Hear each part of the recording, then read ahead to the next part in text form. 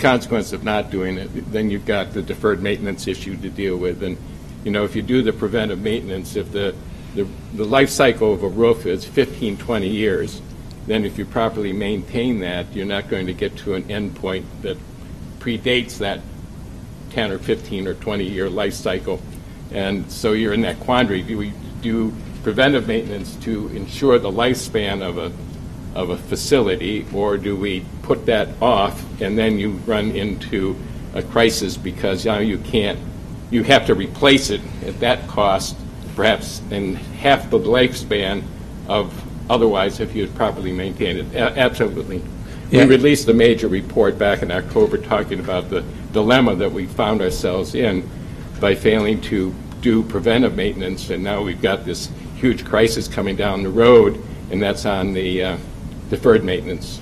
Yeah, it's also a good way, uh, I think, of keeping the public informed uh, about where you are in the life cycle of uh, of various facilities. So as uh, you think about uh, future requests of the public, uh, you can inform them better uh, by letting them know where you are in your roofing program, where you are with your uh, uh, other HVAC. yeah, HVAC, other um, uh, capital projects. Mr. Snow? Thank you, Mr. Snow. Just, I I just want to piggyback on what uh, Dr. Carlson and uh, Dr. Casserly said. Having that kind of external expert advice in developing that plan, I think is essential. And we can no longer continue to say, we can't develop a plan because we don't have the money to do the work anyway. The development of the plan helps to communicate to our taxpayers what the needs are, and then we have to see what we get to support that. But unless you do that in-depth and broad plan of a capital, on capital facilities, um, in a truly professional manner, you're never going to do anything except what uh, Dr. Carlson mentioned, and that is just trying to play catch-up with uh, maintenance. Yeah, And it also puts the public in a position where they're surprised uh, when you come back with a, uh, with a request. Mr. Snow? Well, before Mr. Evans spoke, he kind of stole my thunder. Um, Obviously, we don't have the capacity right now in our district. Um, Is it common to see districts struggle with this, trying to do everything internally? Um, Yes, uh, it is. And frankly, a number of the other uh, areas that we pointed out uh, where we've made recommendations, these are are not um, uh, observations that we made that were unusual in other big city school districts uh, either. Typically, when we are uh, asked to re- review the facilities uh, operations of other big city school districts, we find very dysfunctional operations. All of the uh, of the things that we saw were well within uh, the range of, of of very high-functioning uh, organizations. So what, uh, what you're seeing here is really not uh, unusual in other big city school districts across the country. Thank you. And, and my follow-up question to that is, if, if the, I don't, I'm sure the board hasn't had a discussion on it, but if we did decide to seek a, a third party, an outside group to come in to come up with the system, how's that process? Are you familiar with things like that? Could you explain that to us a little bit, Mr. Evans? We would work with staff to put that RFP together. We'd look at other RFPs used by other districts, and then we'd do an RFP process and bring a recommendation back to the school board uh, after putting the RFP together. Do you have a timeline? Sorry, I'm just making that up. Well, I- I I figured at the end of the day, Ms. Ms. Goding said that we're going to have to, if if we really want to do this well, we're going to put up a, bo- go for a bond in 2017. I figure that if if this is something we really mean uh, and want it to be well, we have to have this first, so the taxpayers know that we're going to use their tax dollars wisely. So what was that saying you said before? Which one? The one you said about the boiler. Pay me now, pay me later. There we That's go. an old Fram oil, com- or oil change commercial. Pay me now, pay me later. So. I'd be just- more than happy to uh, work with you on that, too. And we can help get uh, uh, sample RFPs from other districts. Um, Mr. Snow, also in response to your question about timeline, we would want to really move forward with that quickly and certainly access the expertise of the Council of Great City Schools. And the, an RFP like that needs to be on the street long enough for competent responders to put together good responses for us. Mr. Wayne? I feel like it's a kumbaya moment. Um, there's a couple of us on the board that have been talking about this for a while, um, and so I, I appreciate all the hard work. Uh, I just want to make sure we don't, when we do a RFQ, qualifications or a quote, I don't think we should do a RFP um, or RFB. Um, but but I would like to encompass the entire facilities management, uh, buildings and grounds, the entire, not just the capital plan. For example, uh, one of the things you uh, was mentioned in the report, and I guess this is more for the board, not, not Mr. Casserly, um, talked about tagging and inventory. Uh, the going rate is usually about eight cents to 12 cents per square foot to tag and uh, log inventory. That could be an expensive endeavor, but there are companies out there, professional organizations. I know Chicago was one who had a two-year contract that guaranteed them that they would pay the two, whatever their cost of their contract, um, back in savings within a certain amount of time. So I think we need to look broad at the entire facilities management, not just the capital plan, because we may be able to do some creative things to allow a professional organization to come in. Um, and that doesn't mean getting rid of staff or nothing like, it's about accessing tools that they have. Um, everybody typically stays employed. Um, but just look at the entire thing. I think we owe it to the taxpayers, we owe it to the community to have that conversation. I don't think we've ever had that conversation even when I was a student through, I remember I talked to Dr. Barti about it years ago, and we never had that conversation about a facility management, just looking at it, because even the quality measurements and the software, I mean, that's millions of dollars if we were to try to purchase that ourselves, which we can, again, use a professional organization who I think can provide us with a roadmap on how to get there um, and give us tools. And, and again, I think all we're, all we're asking, at least all I'm asking for at this point, is to just look at what's out there. And it may be best to do it ourselves afterwards, but I would like to know what the market is because I know we don't have eight cents to 12 cents currently in our budget to tag everything. On top of that, buy a software system, train people. Um, so that's that's one thing I would like to make sure we have an RFQ, and I would actually like to be uh, someone involved in that process because I'm kind of familiar with it from my other careers. The second thing I have, and this is more of a board question to think about, we have inclusion on here later on tonight that's asking us to hire an internal person. This report says that our basic requirements are kind of understaffed already. They asked us to hire a new director from, for a capital program division, and then also create a program management office. So those are two new positions. Um, If we're, if we have a $421 million bond, and now we're on notice because of this report, that we might not have the capacity to do it, which was part of the reason reporting structure was a concern for many of us at the beginning of the bond, passage of the bond. Mm-hmm. Is it wise right now to hire somebody internally when we got two other positions that seem to be critical that we probably need to fill first? Unless we just have enough money to fill all of, all three of them. But if we're understaffed, then I'm pretty sure the inclusion person, we could find a job for them to do if we're understaffed with our current largest bond in the, in the history of the state of Nebraska, 460 million. So it's just something we need to think about, that now we have a report in front of us saying that there's some critical positions we need to hire. We need to think about that as a board. Mr. Snow? I was just looking over here, it says, uh, B and G division lacks independent hiring and termination authority, uh, which prevents managers from moving quickly on personnel issues that burdens, burdens them. Could you explain that? to the entire board? 'Cause we were Process, I kinda think, as I remember, uh, Mr. Snow, comes up through the Human Resources Department. Uh, So everything from, I believe, from job uh, posting to um, the hiring process sits over in HR, which is not unusual. Uh, But we also notice in some districts that the operational side of the house is beginning to pull that back uh, be- uh, because they, they need uh, a quicker action, uh, uh, and they're not finding it through the HR department, which largely is sort of focused on the certificated teaching side of the house and less on the, on the non-instructional side of the house. So it is an issue. So we just recommending that some consideration be given to the fact that the operations folk ought to have some authority over the posting, the interviewing, the hiring, and perhaps the termination of people, whatever the law and the statute requires or allows them to do.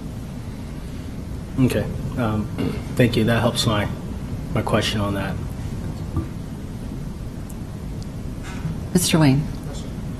Question for Mr. Evans. Are, in in light of this, are we changing how the bond is reported up to you? In what regard? Um, well, there was mention about a higher level and the uh, B and G director span is too broad and they oversee the day-to-day activities plus the 421. So I I guess is that going to change how it reports to Dr. Turnquist? Is it still going to go through that director even though there's these concerns?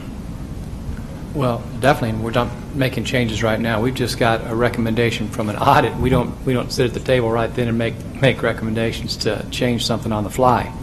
Uh, So what I think we do with the information is work with Council of Great City Schools to help us prepare those next steps. For example, we talked about an RFP, RFQ, whatever we want to refer it. We want to use your expertise to help us in that regard.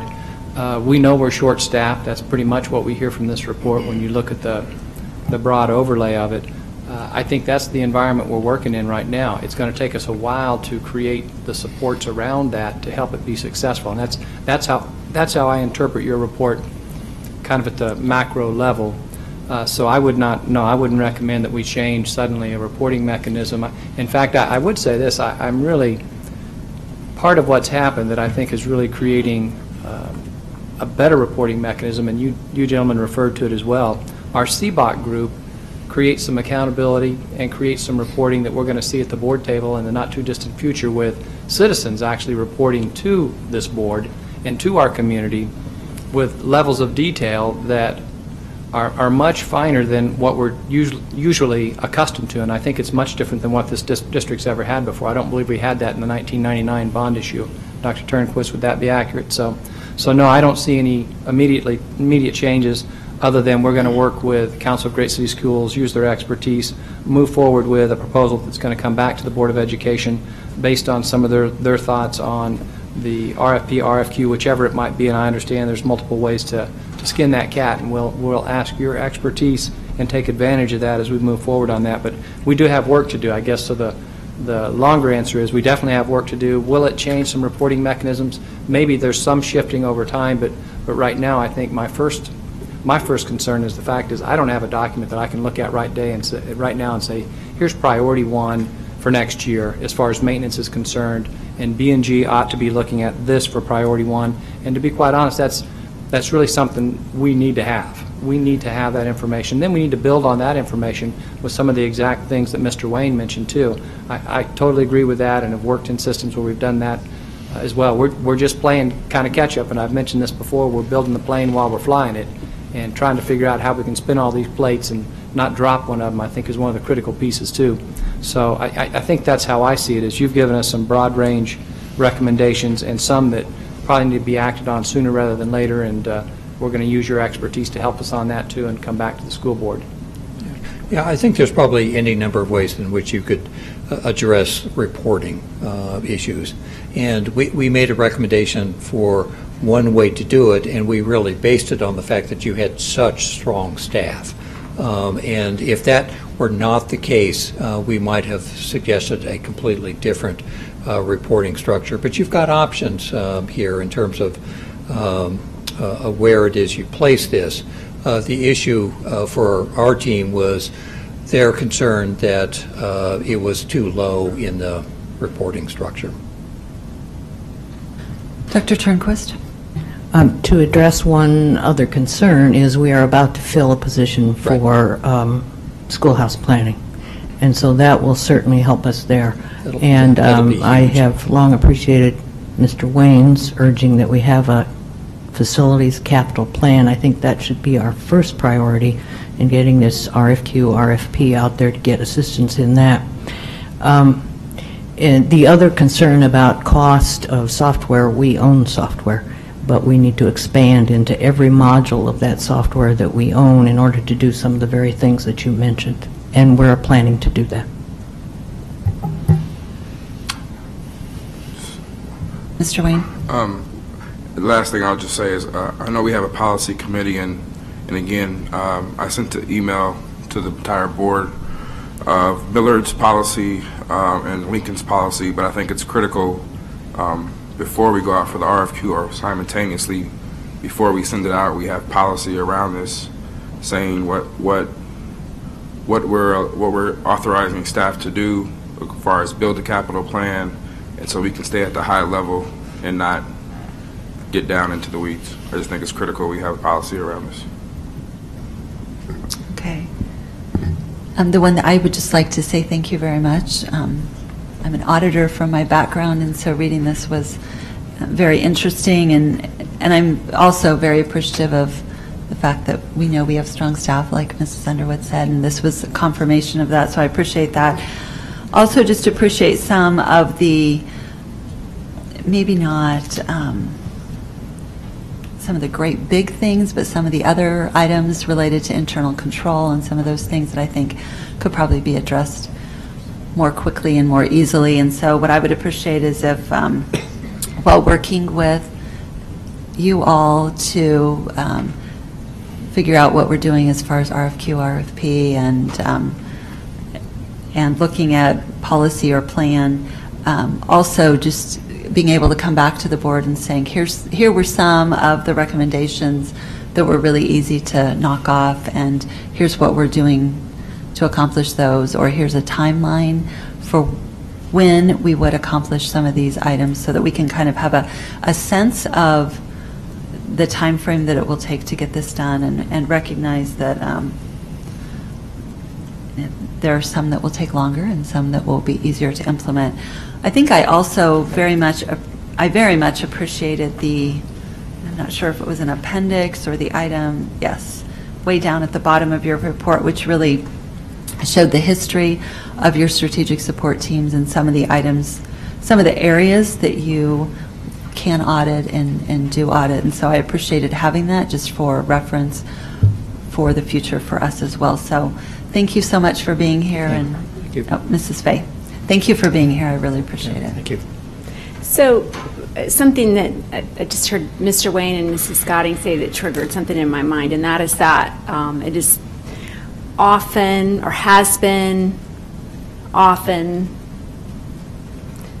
the practice of not just this district, but any organization to, to pick that low-hanging fruit, those easier things. And Mrs. Goding just identified, you know, there are some things that we can get done in here more quickly than others. But Mr. Wayne brought us back around to policy. And um, it- I don't want to fall into the trap of accomplishing some of the easier things at the expense of really where the board needs to sit and trying to create a structure and framework to handle the bigger issues. Because I think sometimes, well, I think all the time, if we if we can, as a board, prioritize some of um, the larger pieces of this that we can put into policy and then direct staff to implement, that those smaller, um, easier things to manage in a shorter time frame will naturally happen as a result of setting up that framework, developing that policy, and, and putting that structure in place.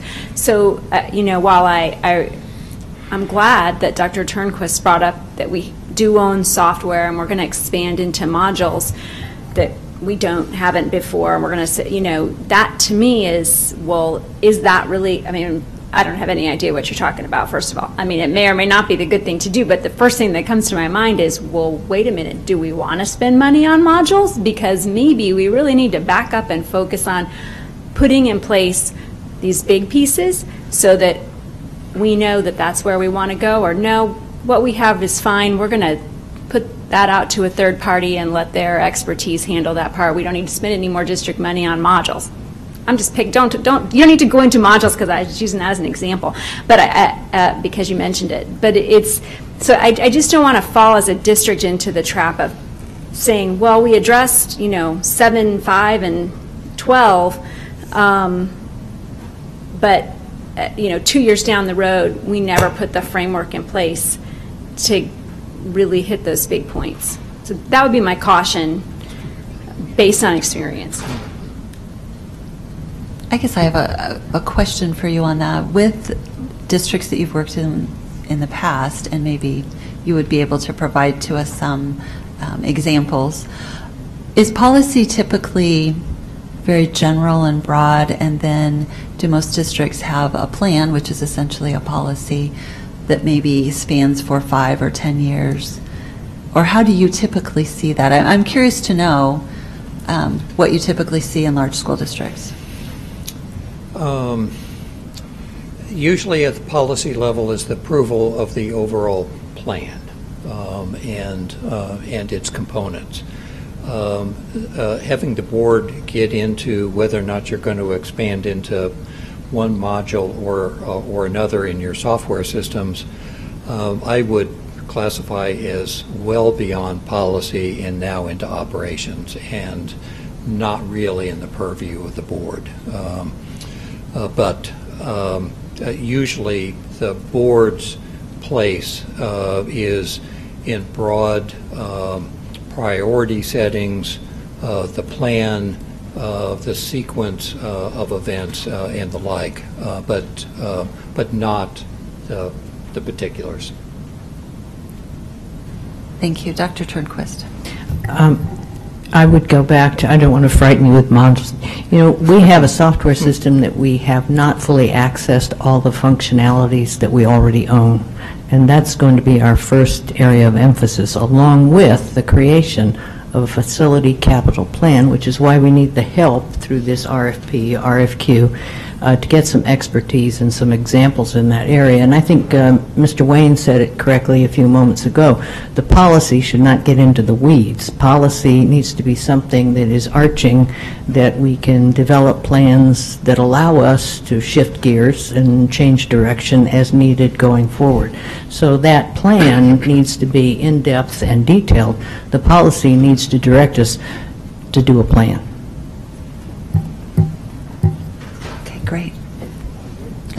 Yeah, very good. All right. Thank you so much for being here and for um, just staying, I guess, extra time with your flight. So Our- I appreciate it and and very much appreciate your expertise and what you've brought to us and what you've also shown that you can provide to us in addition. Thank you. Thank you. Good night.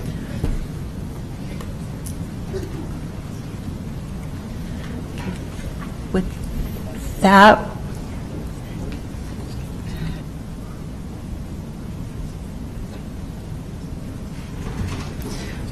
all right, so we're going to, we're going to move to J1C, Code of Conduct, and that will mean, okay, we've been about three and a half hours, so we're going to need, I think, to see about maybe a uh, motion for a short recess when we get done with Code of Conduct. So we'll, we'll go to Code of Conduct first, and I'm not sure, okay, Mr. Corner. Yes. Hello. Hello. President Goding, members of the board, my name is Jerry Corner. I'm Coordinator of Community School and Family Engagement for the district. And on behalf of the Student Code of Conduct Revision Committee, good evening. So during the fall of 2014, um, at the direction of this board, we convened a committee to revise the Student Code of Conduct in preparation for the 2015-16 school year. Simultaneously, also during the fall of 2014, Strategy 1.2.3 of our strategic plan was prioritized.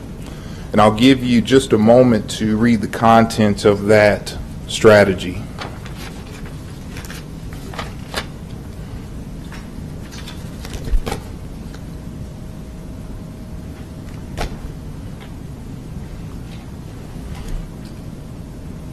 Several of the goals that we were tasked to achieve as a committee included gathering feedback from stakeholders, reviewing other districts' codes and model codes, as well as the review of our own OPS Student Code of Conduct.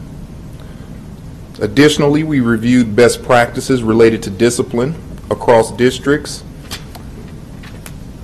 and took a look at various other topics in line with our goal of revising the Student Code of Conduct. Since convening, this committee has had the opportunity to engage approximately 500 stakeholders at 12 input sessions that happened throughout the duration of the year. We were able to engage student groups like the Thrive Student Group. We were able to engage unique parent groups like our Yates parents. We were able to get input from school administrators on multiple occasions to include our secondary instructional leadership network. We were able to include many of our direct service providers from around the metro, which we invited in to hold this discussion on this topic. And we were able to engage um, our District Citizens Advisory Council, which are PTO, PTA presidents from across the district that come together uh, to participate in those DCAC meetings. Additionally, on April 30th, these stakeholders and others were invited back to review a draft of the code and to provide further input as we discussed outcomes of the information we gathered across those 12 meetings. With that said, I'm going to pass things over to Mr. Tim Hamilton. As Mr. Corner stated, we looked at three main areas as the committee. We looked first at the input we received from the 500 individuals, 500 plus individuals.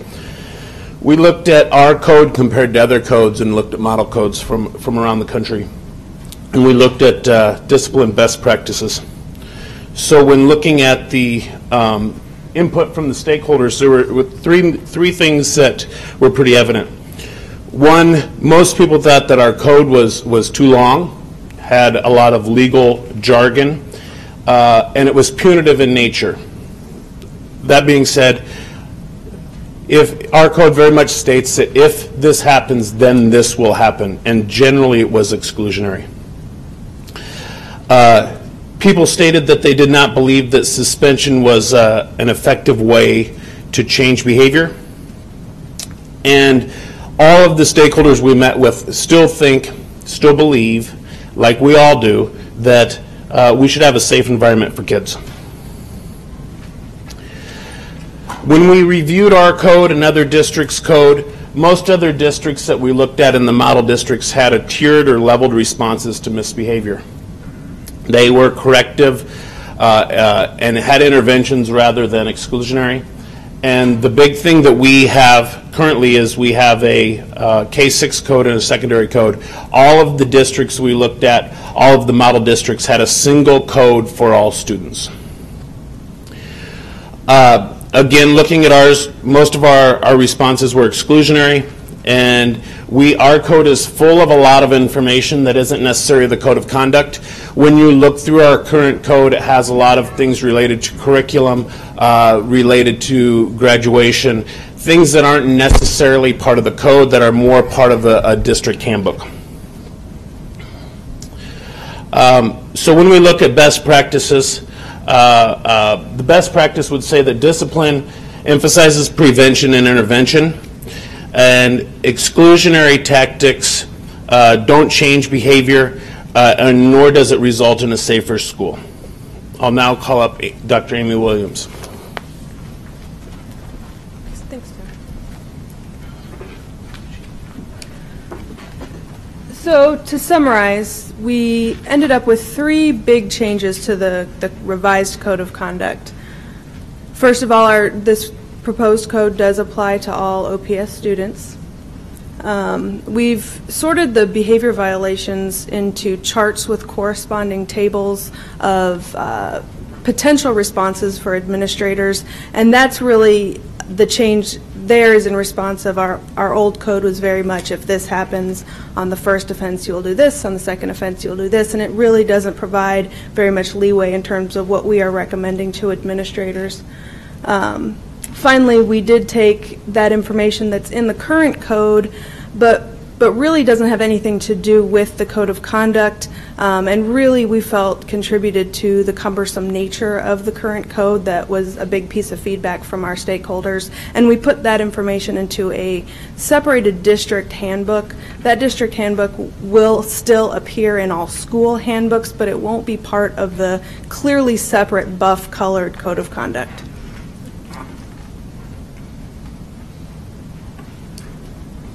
And finally, we wanted to talk a little bit about next steps.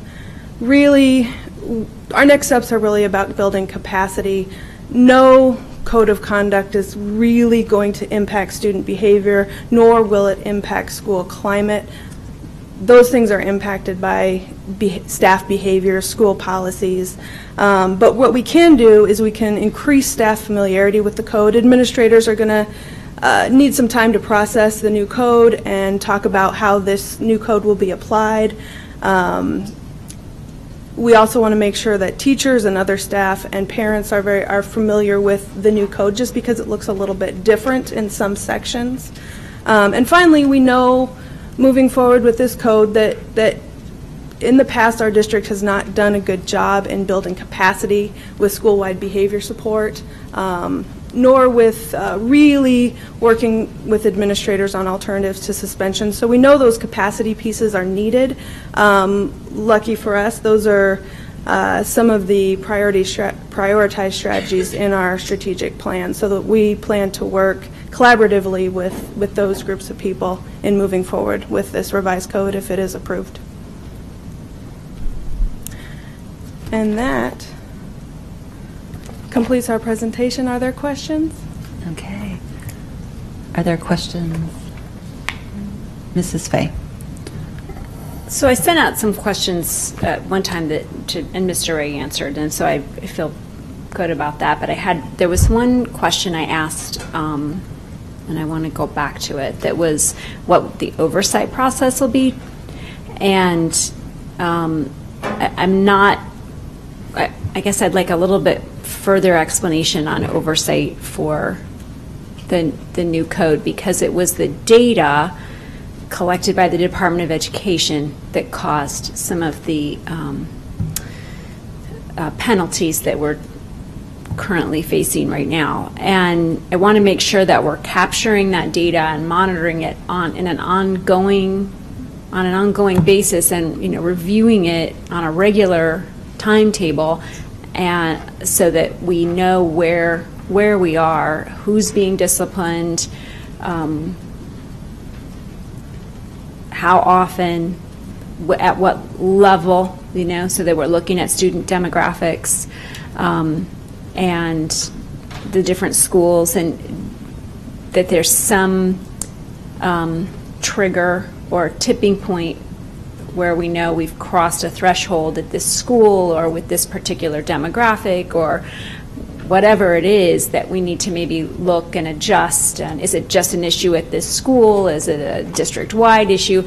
I just want to make sure that we don't have this implemented, if this were to pass, for a whole year or for 18 months, and then just be right back where we were, where we have some of the same issues that we have now. I think we need to always be um, attaching data to these things and monitoring it regularly and providing some sort of um, trigger mechanism that allows for us to change course if we need to.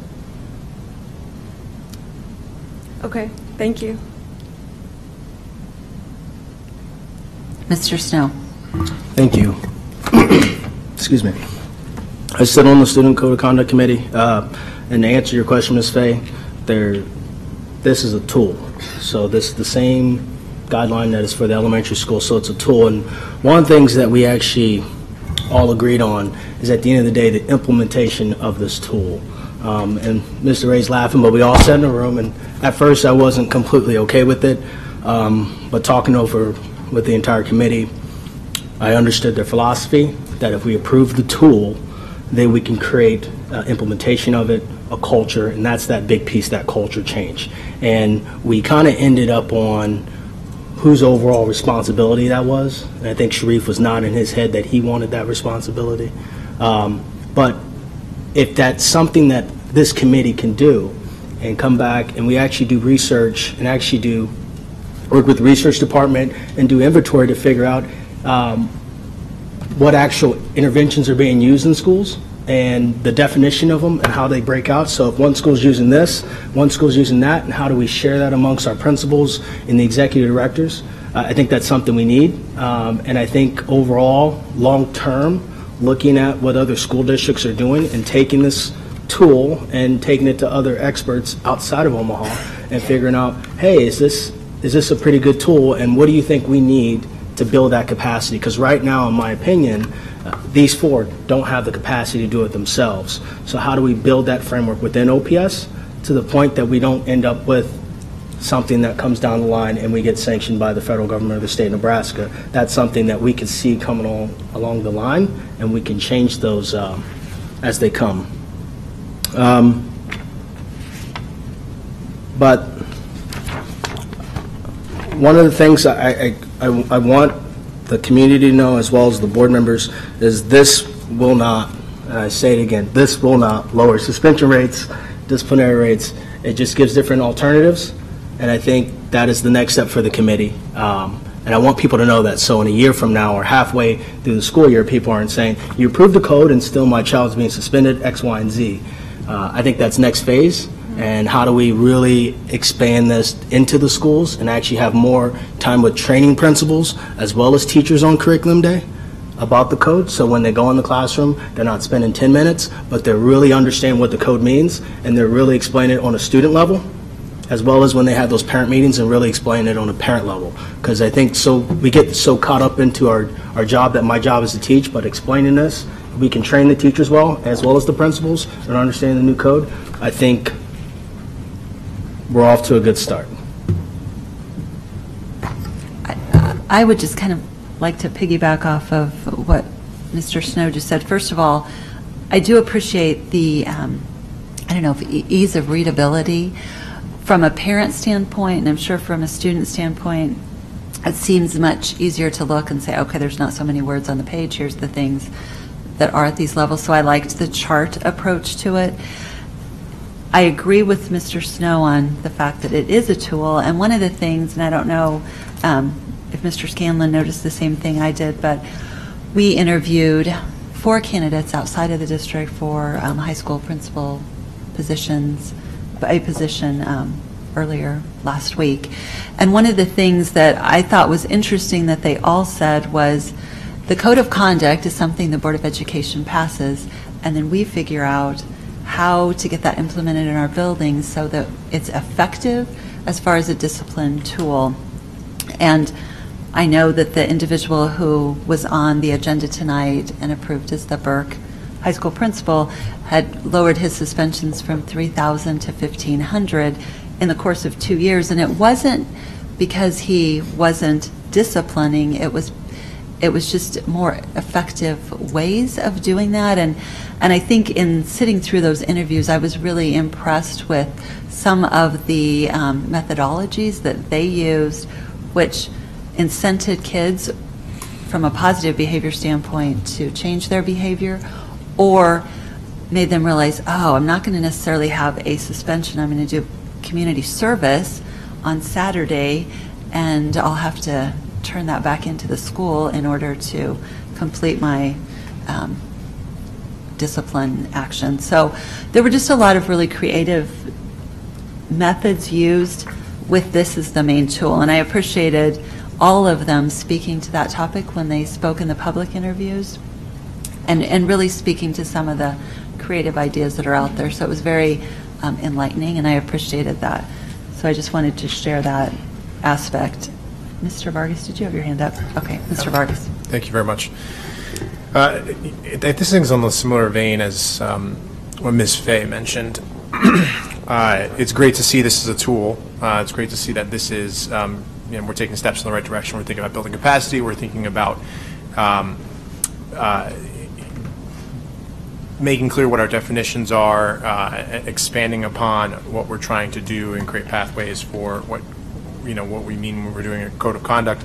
But I, I am still, I do want to make sure this gets back to not being, I just think back to my time in the classroom, uh, you know, being activity-driven versus being outcome-driven. Um, we could be very activity driven, which obviously we have a lot of things that we're doing. We created this. We have these next steps for how to build capacity, but it still gets me back to what Ms. Fey was thinking was saying. How are we, as a district, um, within each program, making sure we're collecting the right data points intermittently between each quarter, not just at the end of the year, to guide whether or not each of these individual things are working. Because if not, then we're going to have to wait till the end of the year and just look for the big school report card on whether or not we're seeing decreases in suspension or decreases in any other metrics that we're using.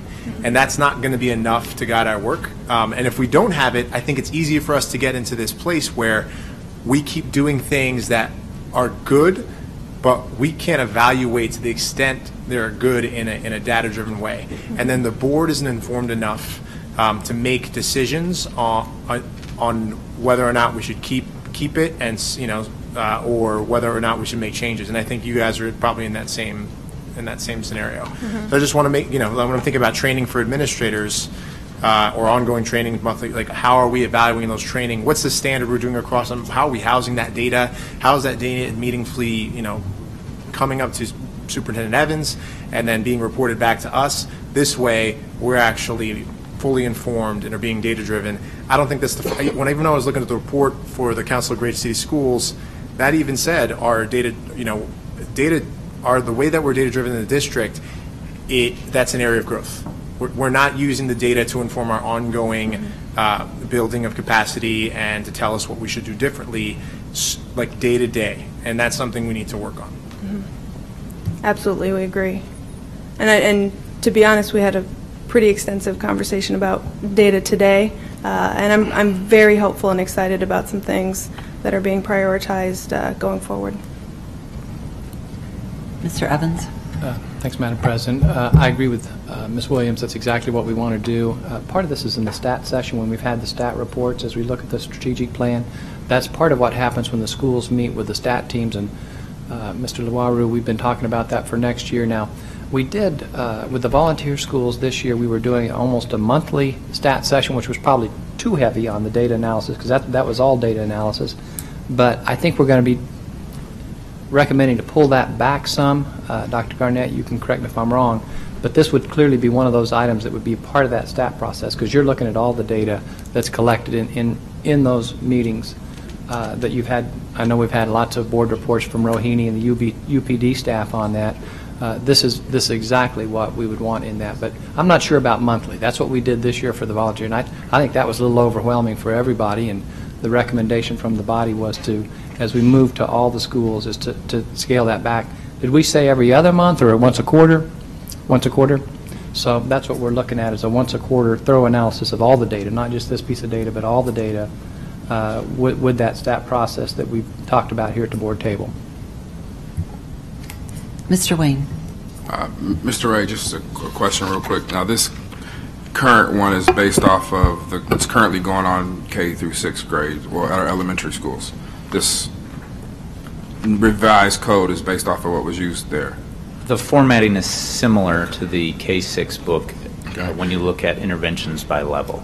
The wording and all the back um, chunky legal wording uh, is a carryover from the, um, the secondary code, so the the wording is very similar in the secondary code. And that's just as, as a note, chunky, was it clunky I think or it's chunky? clunky. Was it clunky or chunky?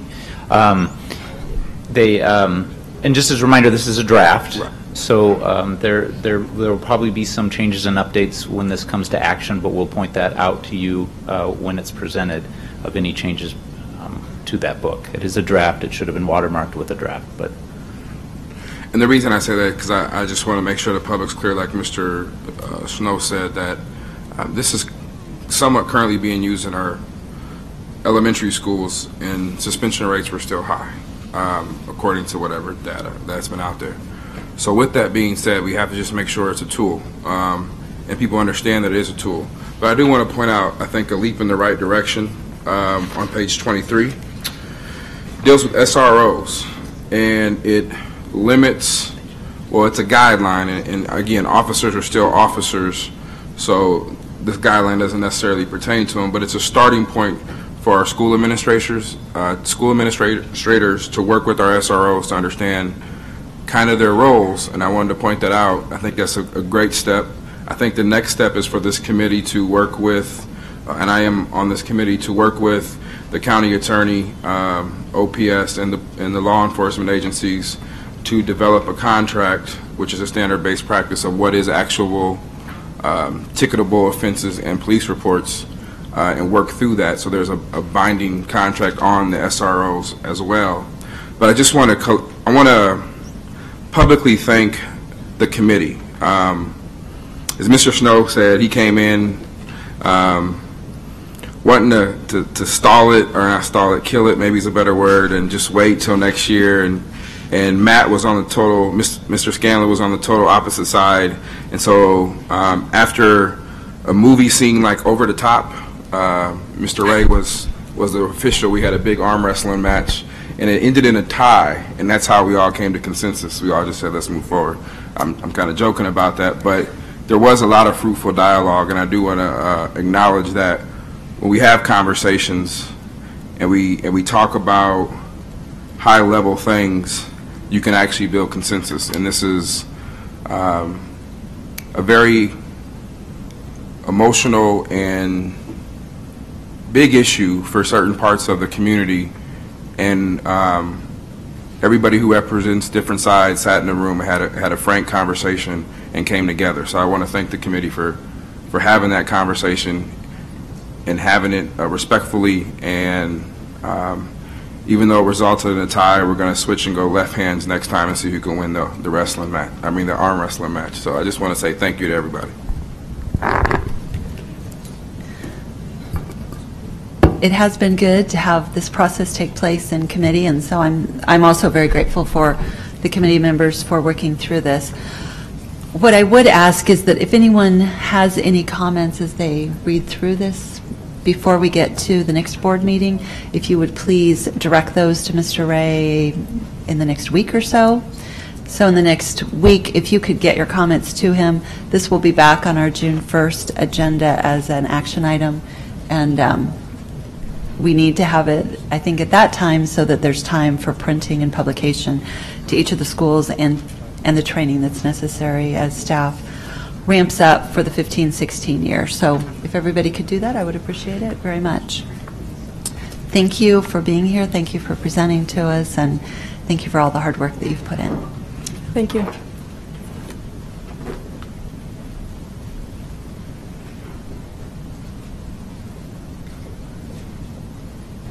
Okay, with that, we will move um, to committees of the board update.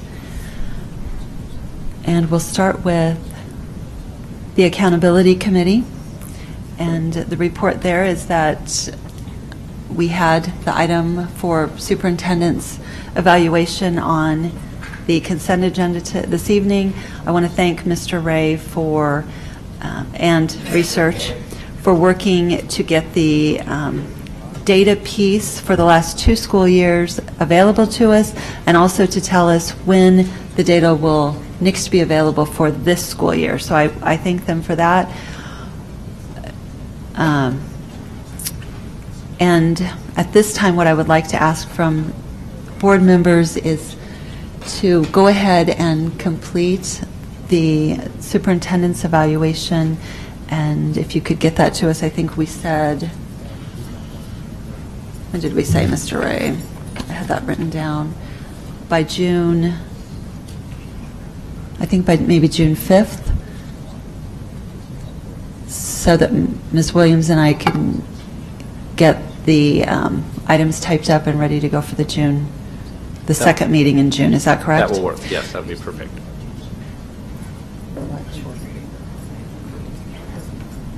Right, so if you can, so if board members could get the tool back to us um, by June 5th, it'd probably be easy if you gave it to us at the, easiest if you gave it to us at the next board meeting. We would appreciate that. Mrs. President Goding? Yes. Is there a way that we can make that uh, PDF um, markable? We, we talked about that, Mr. Ray. If it's no, then I'll it's fine. I'll try. If it's So, no, it's M- no. Mr. uh, Wayne, you said something nice about the code of conduct, which is the first time in four years, so I will do whatever I can. I'll fill it out for you. Yes, I did vote no four years in a row, so. We'll try. We did talk about that, and it was, uh, at this time, we had a challenge timing-wise to get that done as a PDF, and, and we recognize that going forward, that's the way we'd like it to be. With that, I'm going to move on to budget and audit. Mrs. Fey and I met with Mrs. Kenoki and um, a couple of staff. She is currently, and, and this is the exciting part of the priority-based budgeting piece, has met with staff from all the schools in the district and gone over the staffing needs for next year. And pretty much we will stay with very similar staffing, but as buildings have adjustments, they'll come back to uh, finance and probably HR and everybody else, CIA, to, to make suggestions. Just from a high-level standpoint, um,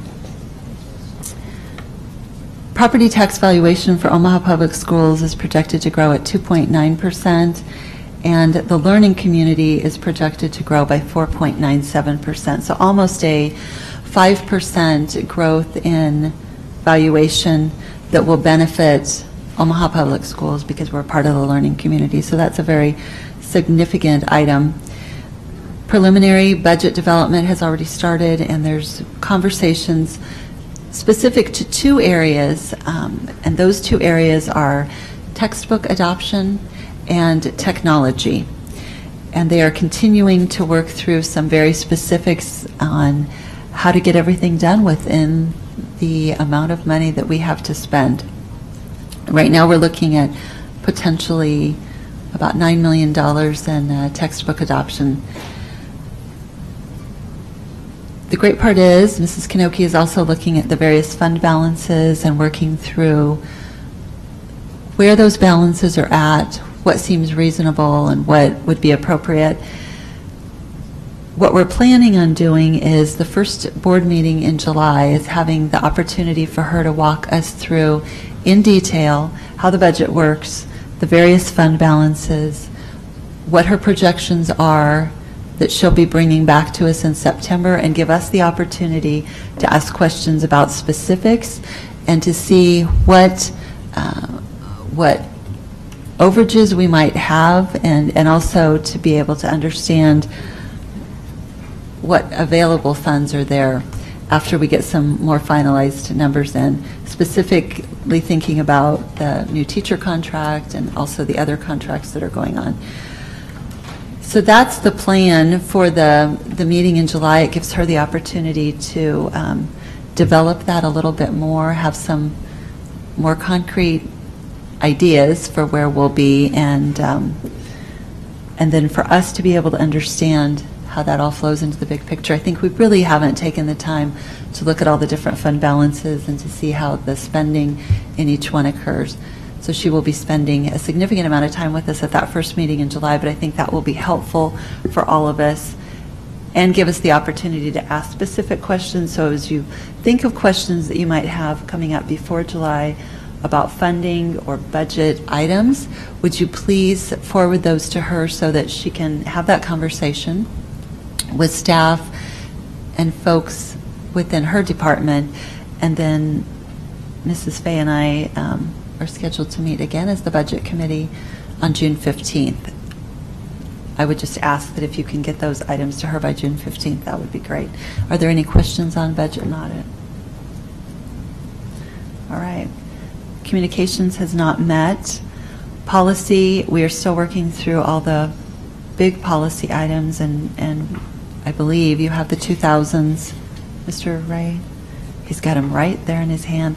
The policy 2000s to pass out to all of us. And, and hopefully, we will be through most of these policies, and then the policy committee can start to meet and move forward. Americanism Committee, did they meet? They have not met since we had our last meeting. Student assignment plan? Um, No updates since the workshop that we had, besides um, you probably noticed that the student assignment plan did not make it on the agenda for tonight, uh, which it was originally planned to be on tonight's agenda. It's been moved to June 15th, um, really for no other reason other than we had a lot on the agenda tonight, and we don't need to approve it. Um, You know, uh, there's no schedule impacts um, if we do move it to June 15th. So that does give um, the board a little more time to request additional information or ask questions as necessary. Thank you. Legislative Committee, do you want to wait till we get to action, or? Okay, we'll move that to action. Construction Manager at Risk, has there been any meetings related to that? No. Specialty Schools Review and Recommendations. We uh, do not currently have a uh, report today, but we are working um, to identify a date for us to meet in the very near future. CBOC. Uh, We're meeting this Wednesday, and I think that we'll be discussing um, the presentation by a uh, CBOC member to the uh, full board uh, at a future uh, board meeting. Thank you. Code of Conduct? We just presented. And you did a fine job, thank you. Well, thank you. I take full credit for that.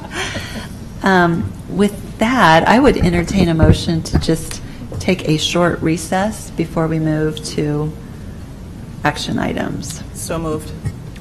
Is there a second? Second? So motion by Ms. Williams and a second by Ms. Underwood to take a short recess. Is there any discussion? Roll call, please. Scanlon? Aye. Snow? Underwood? Vargas? Aye. Wayne? Williams? Aye. Fey? Aye. Goding? Aye. Merica? Seven aye. Motion carries. We will re-adjourn in about five minutes.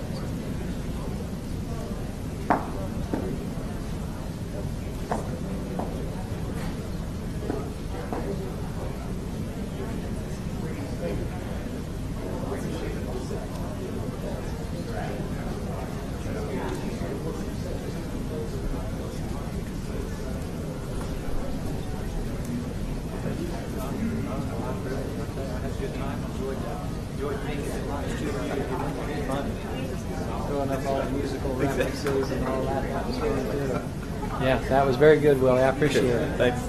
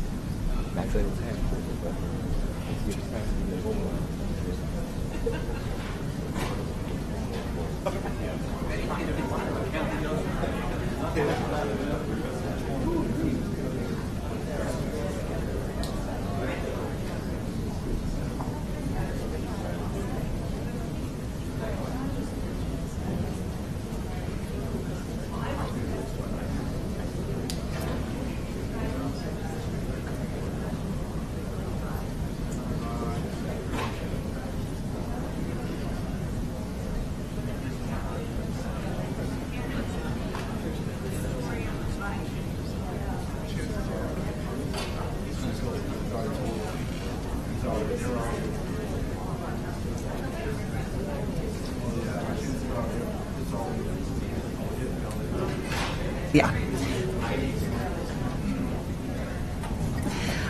Okay, at this time, at 9:07, we'll reconvene.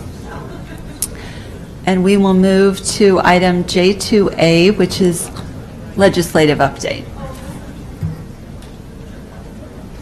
I believe that Mrs. Fey is going to give us the legislative update.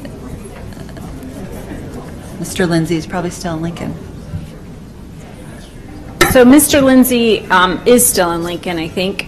They were scheduled to stay in session tonight until 10.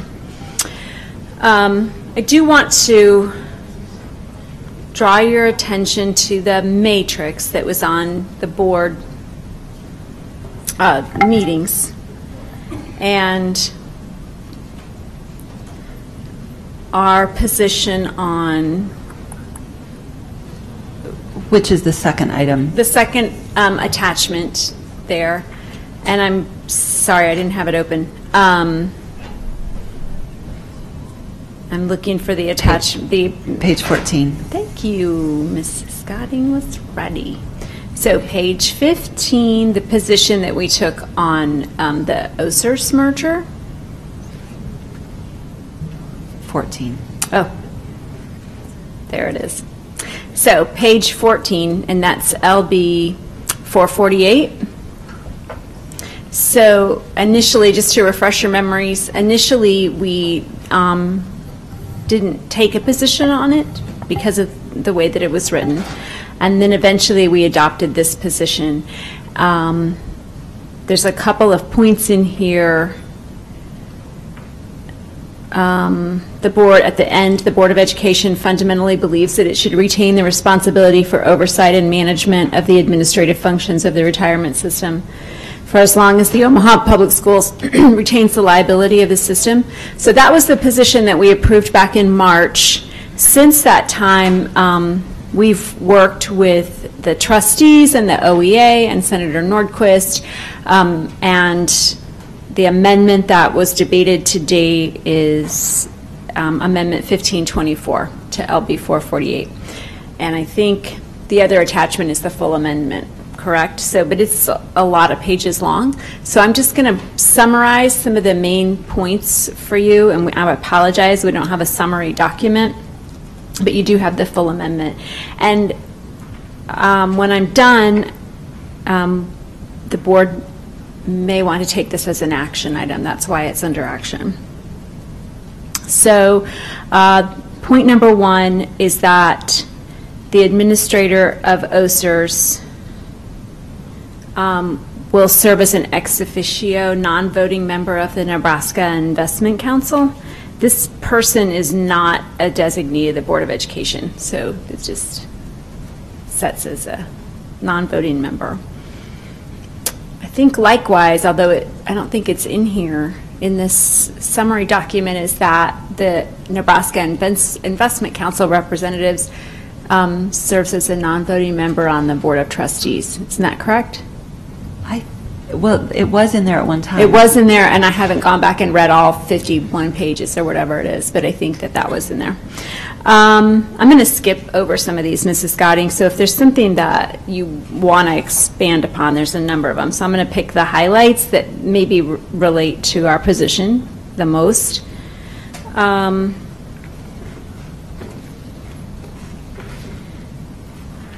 The, the authority and control of the administration of OSERS will be transferred to the, to the trustees upon the enactment of LB 448. Um, And the Board of Education retains the final approval authority for investments until January 1st. I know um, Mrs. Neelis Brash told me today that it may not have the emergency clause in passage, so that some of the dates potentially might change, but this is the way the amendment's currently written.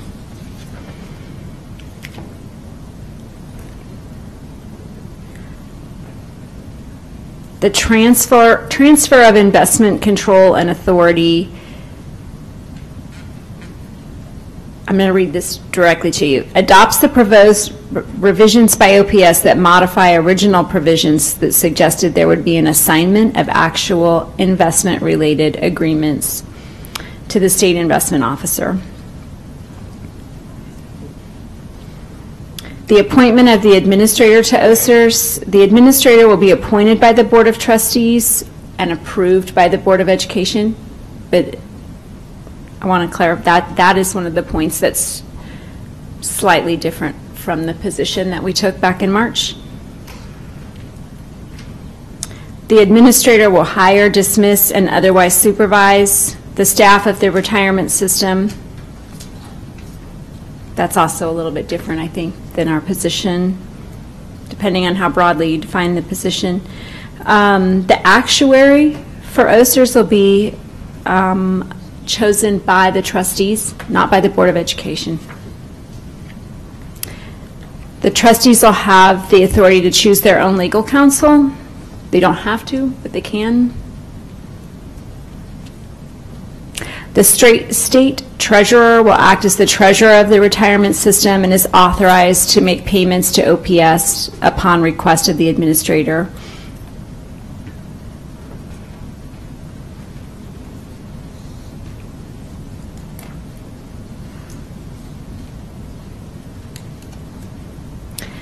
There's a requirement that the district will provide reasonable office and record storage space uh, here at the TAC building, and that all expenses for those office accommodations were- are paid for out of the retirement system, not by OPS. Um, There's a few other things that aren't in here. The, um, the employees um, of the, of OSERS will be OPS employees.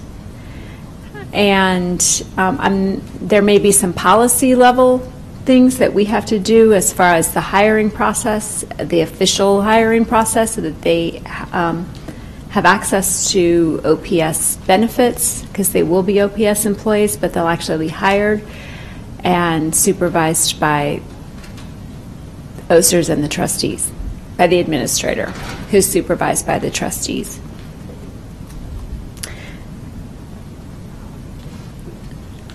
Uh, Go ahead, Mr. Snow, if there's points you want to pick out. I, so, using space, I mean, so they'll be paying for office space, will they be mm-hmm. paying for meeting space as well? It says reasonable, so I think that's. Because we have to staff a person for their meetings, correct? So that should come Well, and that's a good question that maybe Mrs. Neelis Brash can answer. I don't know that their meetings will continue to be public meetings or not. I'm not clear on that. So, um, I mean, She available? She's not available. Mrs. Neelis Brash, I have a question for you. Will the, will the OSERS meetings continue, if the amendment passes as it is, currently, um, it passed its first round of debate today, but if the amendment passes as is, are the OSERS trustees meetings, will they continue to be public meetings that require public notice and, or, that's something we're unclear on, isn't it? I, I think it would be unclear. Okay. Uh, The way, the current language that I've read, I don't think it clearly states that. I, I believe it would probably be considered, uh, just like the Nebraska Investment uh, Council and the Nebraska Public Employees Retirement Board are considered public entities um, and have ex- uh, express exemptions in the statute. I would think it would be similar to that, but I don't know if it states that specifically, so there could be some question as to whether or not it would be or would not be. So keep in mind that there, the uh, responsibilities of the trustees are, would be limited to managing the administration of the retirement system. And so they would not be doing the same kinds of things that the investment council is doing. So I think if they were not, that would be the argument for them not being public meetings. But that's a good point and something that'll have to be fleshed out. I'll just, just to summarize so that everybody is very clear, the investment piece will take place in Lincoln with the Nebraska Investment Council. So they will, after, assuming this passes, after January 1, they would make all the investment decisions. Those would not come back to us to approve. However, I, I do think we would want to get updates on a quarterly basis or have that as a receipt of reports so that we know and understand where our investments stand on a regular basis since it's our liability on the unfunded piece. So I would think that that would be important for us to continue to uh, monitor and keep our eye on. From an administrative standpoint, the OSER's office has never actually been the ones to cut the checks and send them to everyone. That actually takes place through um, comp and benefits. So those costs that comp and benefits incur going forward would be charged back to OSERS for the processing of payments and, and all of the work being done. So the majority of what would happen in the OSER's office, I think, would be retirement counseling and non-investment decisions, non-really payment decisions, or non-payment activity. Um, And I, and I think what I would ask, specific to um, the employees being OSER's trustees' employees, and I think there will be some work that has to be done there because they won't be on our consent agenda any longer, and they won't be a part of our uh, process of approval. Without that, there will need to probably be some changes so that they can continue to receive health care benefits, that they would be a part of OSERS um, as far as a retirement system. So there are some things that will technically have to change on our end once the legislation passes. And I think what I would like to ask is, once it passes and once we get into January and all of that difficult work of moving the investments over, is that we just um, monitor, um, from Mrs. Kanoki's standpoint, the cost of maintaining that office, so that we have a clear understanding and so that the taxpayer has a clear understanding of what's happening now that the investment piece is not in the office. So that's one thing I would like to ask that we um, have updates on. One of the questions I have is, I thought that the legislation changed it so that the actuary was um, appointed by the OSERS trustees, but approved by the Board of Education. Is that, is that, is that correct? I don't. Did you see that? Mrs. Merica? That was, I thought, a suggestion that we made that was rejected. Um, Were, is the attached amendment the most recent one? I'm not sure what happened today. Because as of this one, there is on page 20, start of page 26, top of page 27, um, it does say the selection of the actuary shall be approved by the Board of Education. Okay. Okay, well, I- I That's thought good. that was the case Do you, at one point in um, time. maybe before we do any further discussion, do you want a motion, Mrs. Goding? Or do you, or do you just want clarification still on what is in the I think law itself? I Or the think there's some clarification that we still need to Okay. have Ms. Williams? So I just want to clarify, so the Board of Education is still liable. We have no authority, but we're liable. Is that correct? Well, I think there's some disagreement about that. So I think that that's, I mean, I think, yes, we're liable for the unfunded mandate, but I don't know how liable we are for, Megan will come in. Um, I think it depends on which part you're talking about and who you're talking to. As far as um, like bad investment advice, for example, that there's a question there. But it, so depends on which part you're talking. The unfunded mandate, yes. Ta- Omaha taxpayers are still liable. Correct. Um,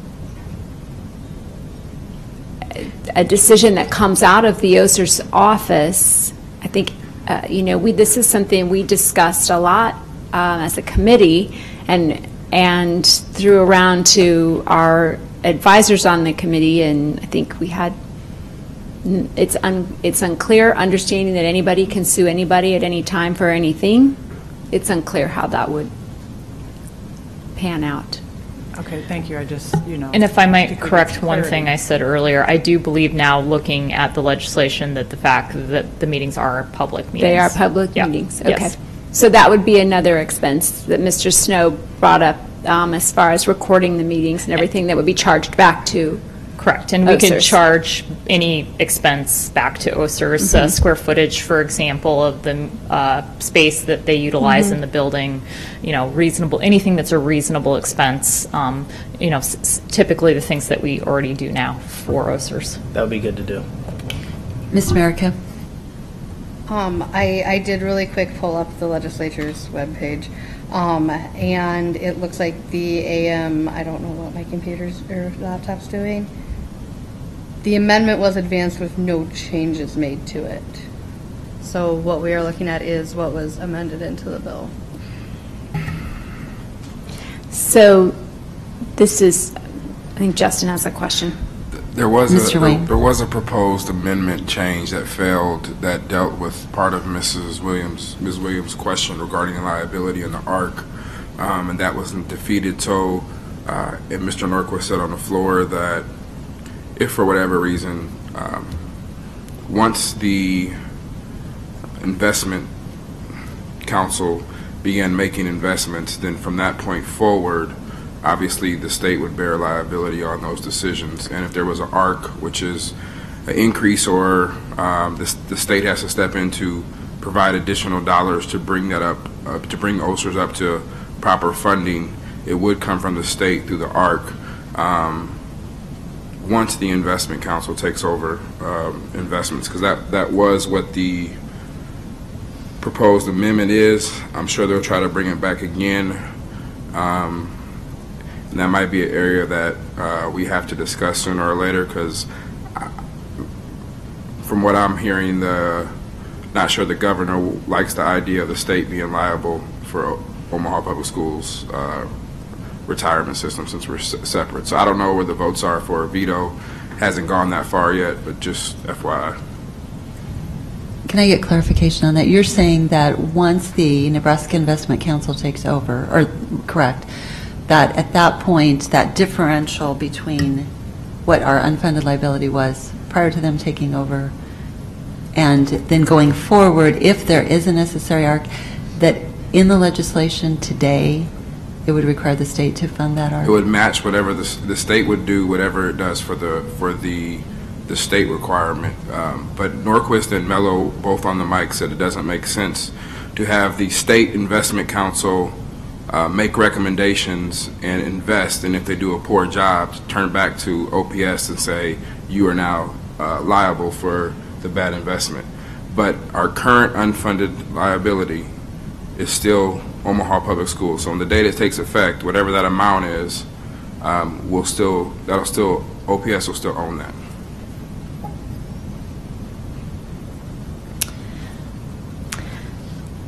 Okay, is there a motion that, So for the committee, I move that uh, the board approve support of the um, amendment 1524 to LB 448. Is there a second to Mrs. Fey's motion? Second. So there's a motion by Mrs. Fey and a second by Mr. Snow that the um, Board of Education, based on the committee's recommendation, approve the Amendment 1555 to LB 448. Is there any discussion? I think it's, a. is it, what's the amendment number? I think it's 1555. Is that correct? Or is it 1524? Which one is it? 1555 is what I have on, that's posted on the board agenda. Okay. That, that wasn't what I said, so I'm glad you, because on this one, it's 1524. Okay, so 1555. Okay. And I, Point Mr. of- Wayne and then. Point of clarification. I mean, aren't we just approving LB 448 as it currently is today? Isn't that the, I mean, as it is today? As amended? Yeah. I mean, isn't that what we're, LB 448 is As amended? amended?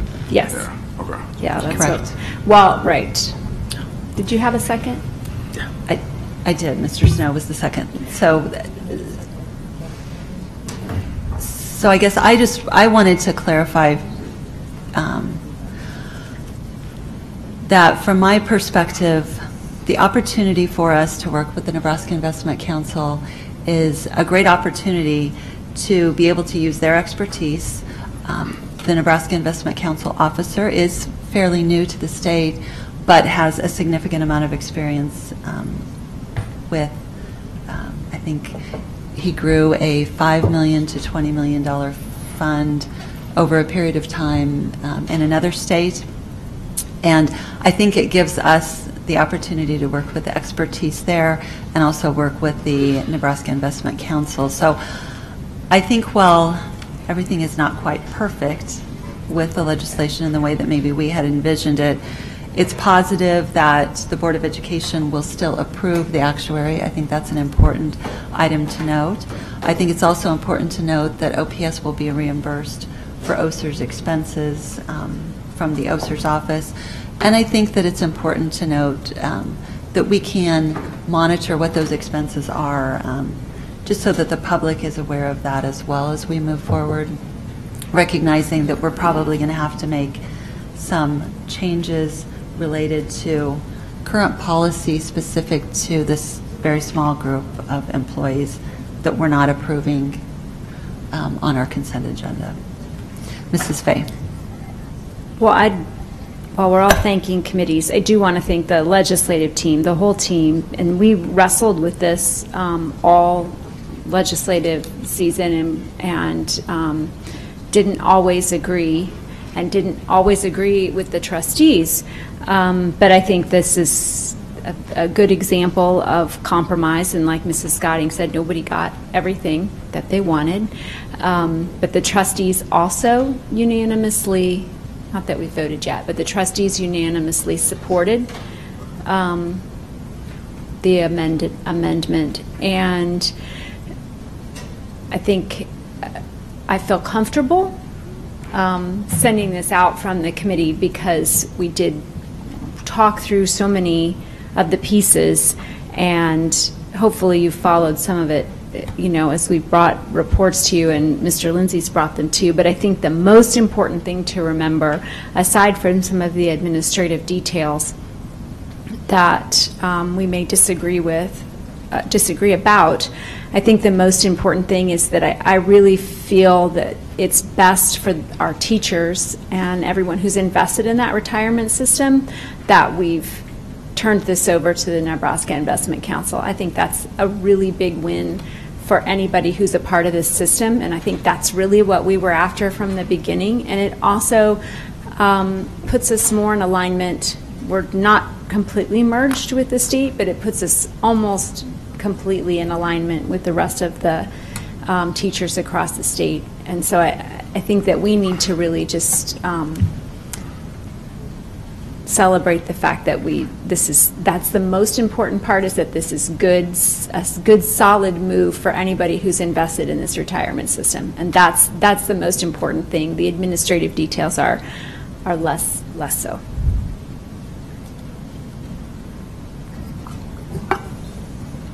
Just- And, and I thank you for those comments, because I would agree with you that that's, that's the most important part of this. It's for our, our employees, and that's what we should be focused on. Are there any other comments or questions from the board? Hearing none, roll call, please. Snow? Aye. Underwood? Aye. Vargas? Aye. Wayne? Aye. Williams? Aye. Fey? Aye. Goding? Aye. Merica? Aye. Scanlan? Aye. That's nine aye. Motion carries. So I think the only other parts of the legislative report, um, we, I think we all got an email from Mr. Evans earlier, and was that just to the legislative team, or did the whole board get the email about where, just legislative team, okay. Um, So I, I believe that, um, well, we did believe, and then maybe Megan's heard, Megan's been communicating with Mr. Lindsay through the meeting, since we cannot, so maybe she has an update, but until their debate started a couple of hours ago, we believe that the learning community was um, going to remain the same, no changes whatsoever until next year, and that it would be a part of the discussions uh, in the interim. But then there was an update, and let Megan. So I believe tonight on the floor, um, they had three amendments uh, from uh, Senator Kintner. Uh, The first amendment. This is to LB 525. Yeah, 525. um, With regard to the learning community, there were various uh, differences in in the amendments. Uh, The first amendment, uh, I believe, failed uh, with a vote of only 13 for um, the uh, uh, amendment, and then the other two amendments were pulled by Senator Kintner uh, uh, for not, for consideration. So I believe um, they advanced uh, 525, or I- I'm not quite sure on that yet, though. I think they did, yeah. So they did advance. it. Without the amendments. So we're back to where we were at the start of the meeting, which Right. there's nothing on the floor whatsoever about the And, and they did remove um, uh, the uh, legislation uh, with regard to uh, Senator Kolowski's. Um, He allowed them to remove that language uh, tonight without uh, So those debate. were the additional dollars for AP and um, there was another piece, career, right? And that was, I think, a price tag of about 2 million was the dollars that were attached to it. And so that was, um, right, outside of TEEOSA and that was pulled by Senator Kolowski. I think that's about it. We're just going to have to keep, th- these are the last few, how many days? Less than a month. Eight Eight days days left? Eight session days. Okay. Right, they wrap up essentially right after we finish our next meeting, so. With that, I'm, I'm going to move J2B to the end of action, just because we have folks here um, for a couple of the other items. So the first item I'm going to go to is, next, is J2C, which is grade level configuration, McMillan, Monroe, Beveridge, Hale, and Morton we have the same items that we had last time on, as far as information. I did want to um, address one point, which was uh, Mr. Wayne's question on policy. So policy 0304, item F, under duties of the superintendent of schools, says that the superintendent shall have the right to consolidate classes, assign students to buildings and classes, or transfer them from one attendance unit to another. We have had a significant amount of discussion on this particular item of grade level configuration. At this time, what I'd like to do is ask the superintendent what his recommendation would be um, from staff and from his perspective on the grade level piece. And then I think we've all had the opportunity to comment quite a bit. We'll go around the table, and if everyone can give one or two brief statements on your position on this or, or, or points that you want to make sure that you have on the record, we'll do that. So with that, I will turn it over to Mr. Evans to give us his recommendation on grade level configuration.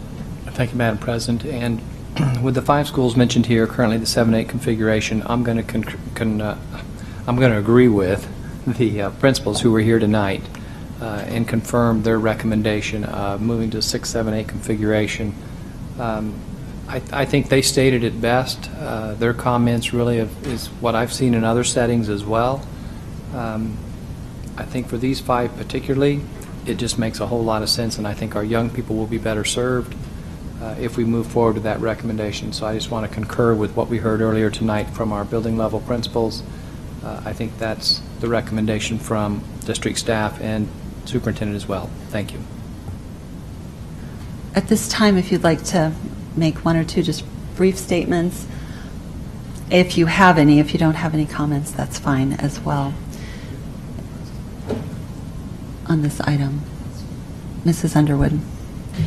Um, I just wanted to mention, I thought it was good to hear from the principals. Um, we, I think that uh, our research department had done surveys of staff when we had been discussing the grade le- level configuration thing, but other than that, we hadn't heard directly from them on it. So I thought that was, um, uh, it was good to hear their perspective directly. Um, And then just as a reminder, these schools are on the agenda in particular because of the bond program and needing to move things ahead um, as schedules go for that. So because of that, I will be, and and in addition to um, the support from the principals, I'll be voting um, in favor of this.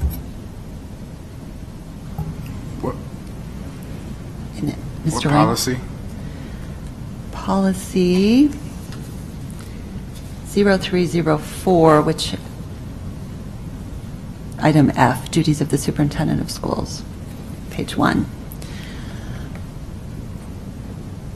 And I will just state that I'll be voting in favor of this. After looking at all the data um, on student achievement, vertical alignment in buildings, it seems pretty evident that, based on what the principal said as well, that the longer a child can be in a building, the more opportunity there is for staff to work with the students. And since my child currently is in a 6-8 building, I've really seen the benefit of that alignment and those teachers in sixth grade really working with the seventh and eighth grade teachers to ensure that specifically the writing piece is addressed and then the math piece because we know that our sixth graders who are in elementary schools use one math curriculum but our students who are sixth graders in middle school use a different math curriculum.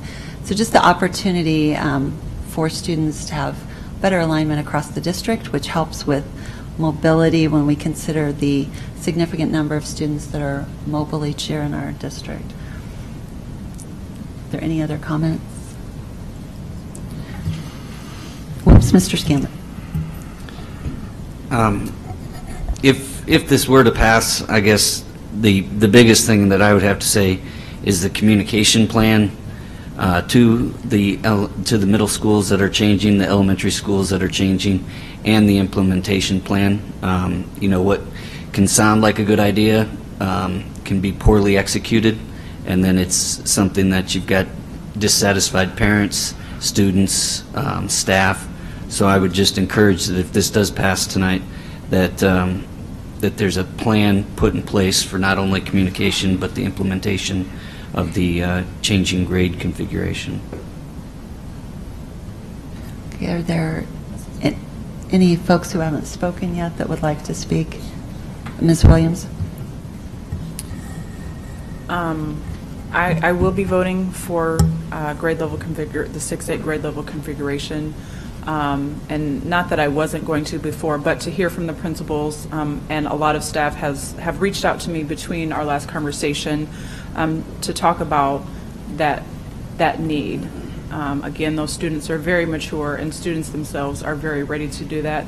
There's always the exception to every rule, um, but the majority of our students are ready, and the families are ready for them as well, so I will be voting yes tonight. Any other comments before we go back to Mrs. Fey and then wrap up? Mrs. Fey? Oh, I'm sorry, I'm sorry, I haven't gone to you. Sorry, thank you, Mrs. Fey.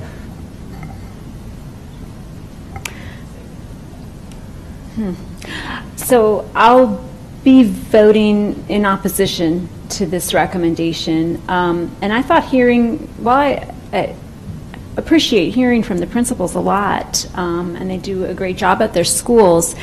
Um, They they all brought up the idea of having the students longer, and that's my very argument for keeping them in elementary school. Um, I do want to clarify that I, at no point in any of this debate over any of the conversations we've had about grade configuration have I ever stated that I have um, the kind of apprehension or fears that, that Mr. Bartles talked about. That's not ever been a part of my debate and my discussion over this. It's always been about identifying what's best for individual communities and within our district. And that um, standardization and one-size-fits-all cookie-cutter kind of grade configuration plans, I don't think are best. And to, to Mrs. Goding's point about, um, for example, student achievement in math, we know, now Dundee's not on this list, but we know that Dundee's math scores are better than all of our middle schools, at an- any middle school that has sixth graders. Um, So, you know, the idea that having students longer, well, then why not that 5-8 in some of these instead of a 6-8? Or why not the opportunity to look at um, some innovative programming and do a K-8? So I, I I also have to really speak for my constituents from Rose Hill who really feel that adopting this puts them in a position um, where they will continue to opt out at the numbers that they are, which is very high once they get to about fourth grade. So they feel that with the removal of sixth grade and the timing with the student assignment plan, um, that they don't have any other options, um, that their options are being limited by this middle school grade configuration. And then, um, so I do have to continue to be a voice for my constituents there. So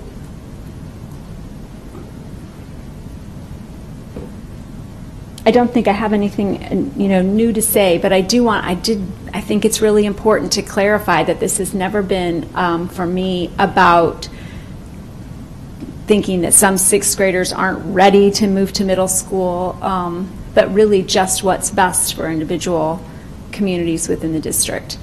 And providing the kind of um, forward-thinking, progressive, and responsive education that I think we're capable of doing, but falling back on something that seems to me to be, um, you know, less than what we're capable of doing.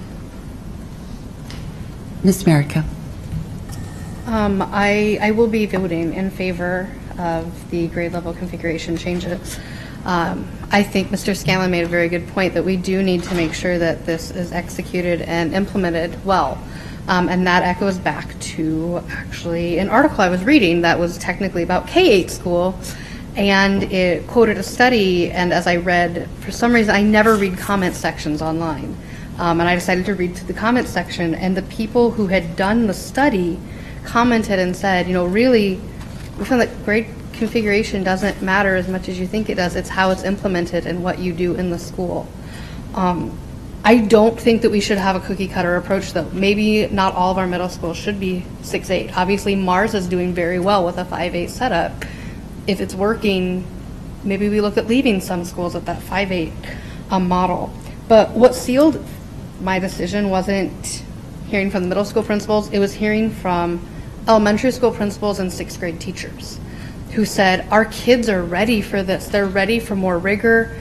And I had one who said, I have I don't have my class in my classroom at any point in the day. I don't have my full class in my classroom because people are getting pulled out for band, people are getting pulled out for choir, they're getting pulled out because they're doing a different level math than the other students are doing, or they're just being pulled out for so many different things that in a middle school environment could be targeted towards them where they weren't missing other instructional time. Um, and so that really made me think about, yeah, I, thinking back to when I was in sixth grade even, I don't remember being in the classroom at all that year because we were getting pulled out for everything. Uh, it just seems to fit with our, our goal of increasing rigor in the classroom and making our students college and career ready. It, it's a change that we need to make. Any other comments? All right, with that, Mr. Ray, um, roll call, please. Oh, wait. The motion? We didn't have a motion, sorry. Is there a motion? I move to approve the transition of Beveridge, McMillan, Monroe, Morton, and Nathan Hale to a 6-8 grade configuration. Is there a second? Second. Is that Mr. Vargas? Yes. Okay. So motion by Ms. Williams, second by Mr. Vargas to move the, to approve the transition of Beveridge, McMillan, Monroe, Morton, and Nathan Hale to a 6-8 grade configuration. Is there any other discussion? Hearing none. Roll call, please. Underwood. Aye. Vargas. Aye. Wayne. Aye. Williams. Aye. Fey. No. Goding. Aye. Merica. Aye. Scanlan. Aye. Snow. Abstain. Seven aye, one abstention, and one no. Motion carries. With that, we will move to J2D, Economic Inclusion Plan. See Mr. Summers coming up.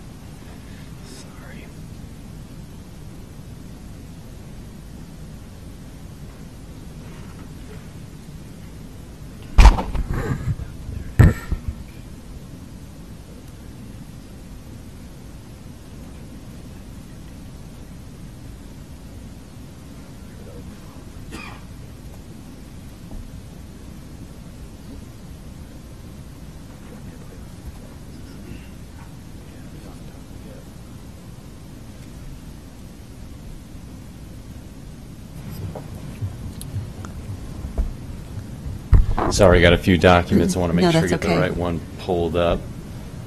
Right, can you, once you get it pulled up, can you tell us which document it is? We have four of them listed on our agenda here.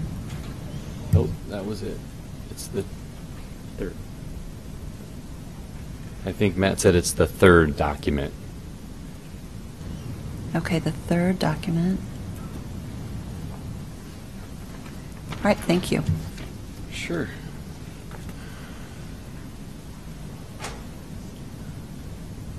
Okay.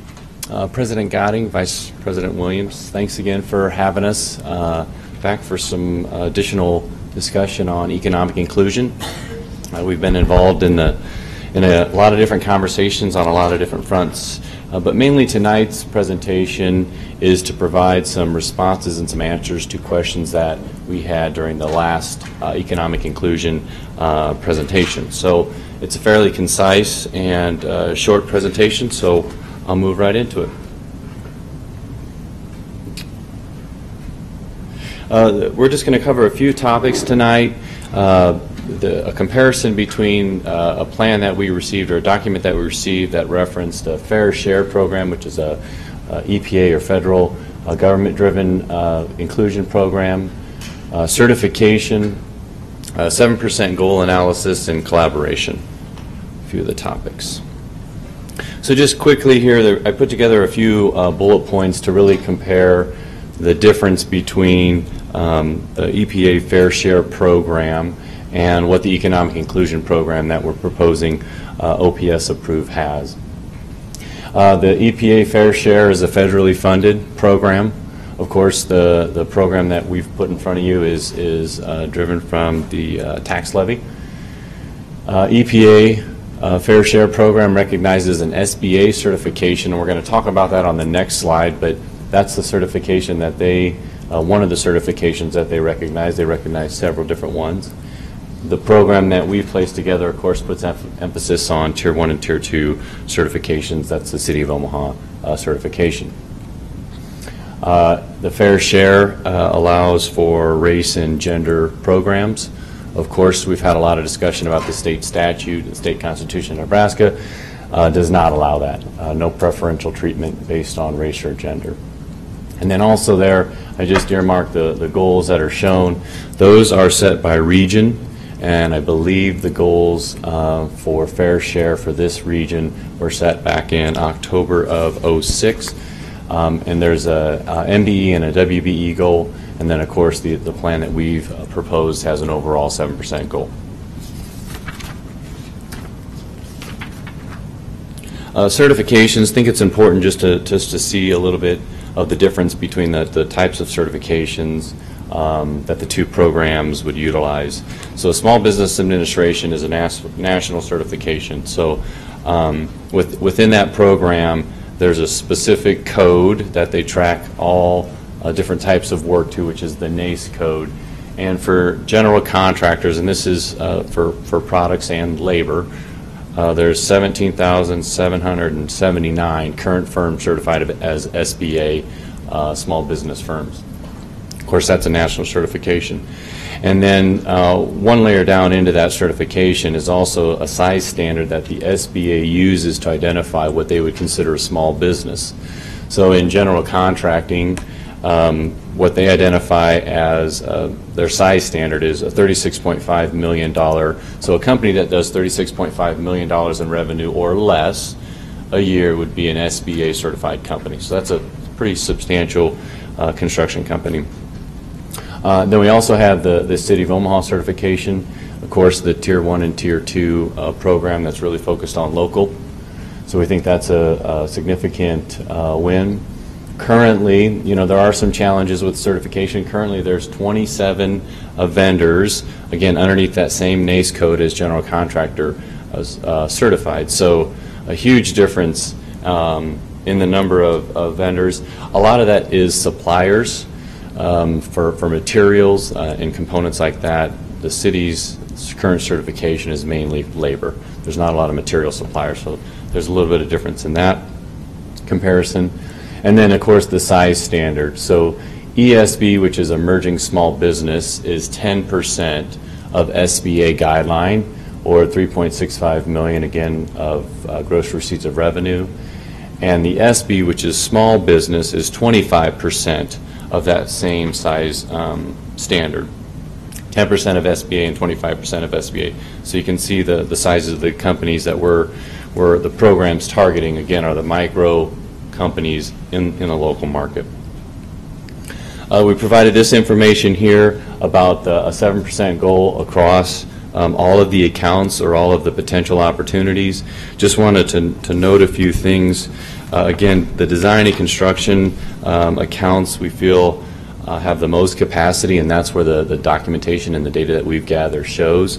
Many of the other categories have limited or no certified vendors at this point in time. So uh, if we apply, if the goals applied across um, all accounts, we'll have to really find some creative strategies on to try to identify certified vendors to provide work in those categories. Not that we're not already doing that, but I just want to make sure um, that it's known. And, and, and again, we're really being creative with how we can package the work to try to maximize opportunities in these different accounts and different categories. We're not just leaving it as status quo and construction is construction. We're trying to digest inside of the printing, inside of the temporary housing, inside of all these other categories. How can we debundle or unpackage the work to make it so that there's fair competition uh, with, with tier one and tier two, pardon me, tier one and tier two contractors. Um, There was a lot of discussion, again, at the last board meeting about collaboration. Um, I think that we found that with all of our efforts, we've, we've been putting in the work and the effort, and we have been getting a lot of phone calls and a lot of opportunity to collaborate.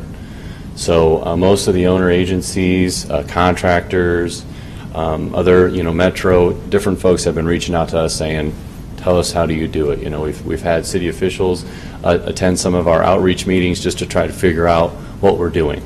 And I think at the, at the simplest level, you know, we're engaging people in the conversation and we're distinctly taking action. So, so those are, those are two big pieces that we've been able to do. But we have been participating uh, in the, in the city's uh, economic inclusion meetings.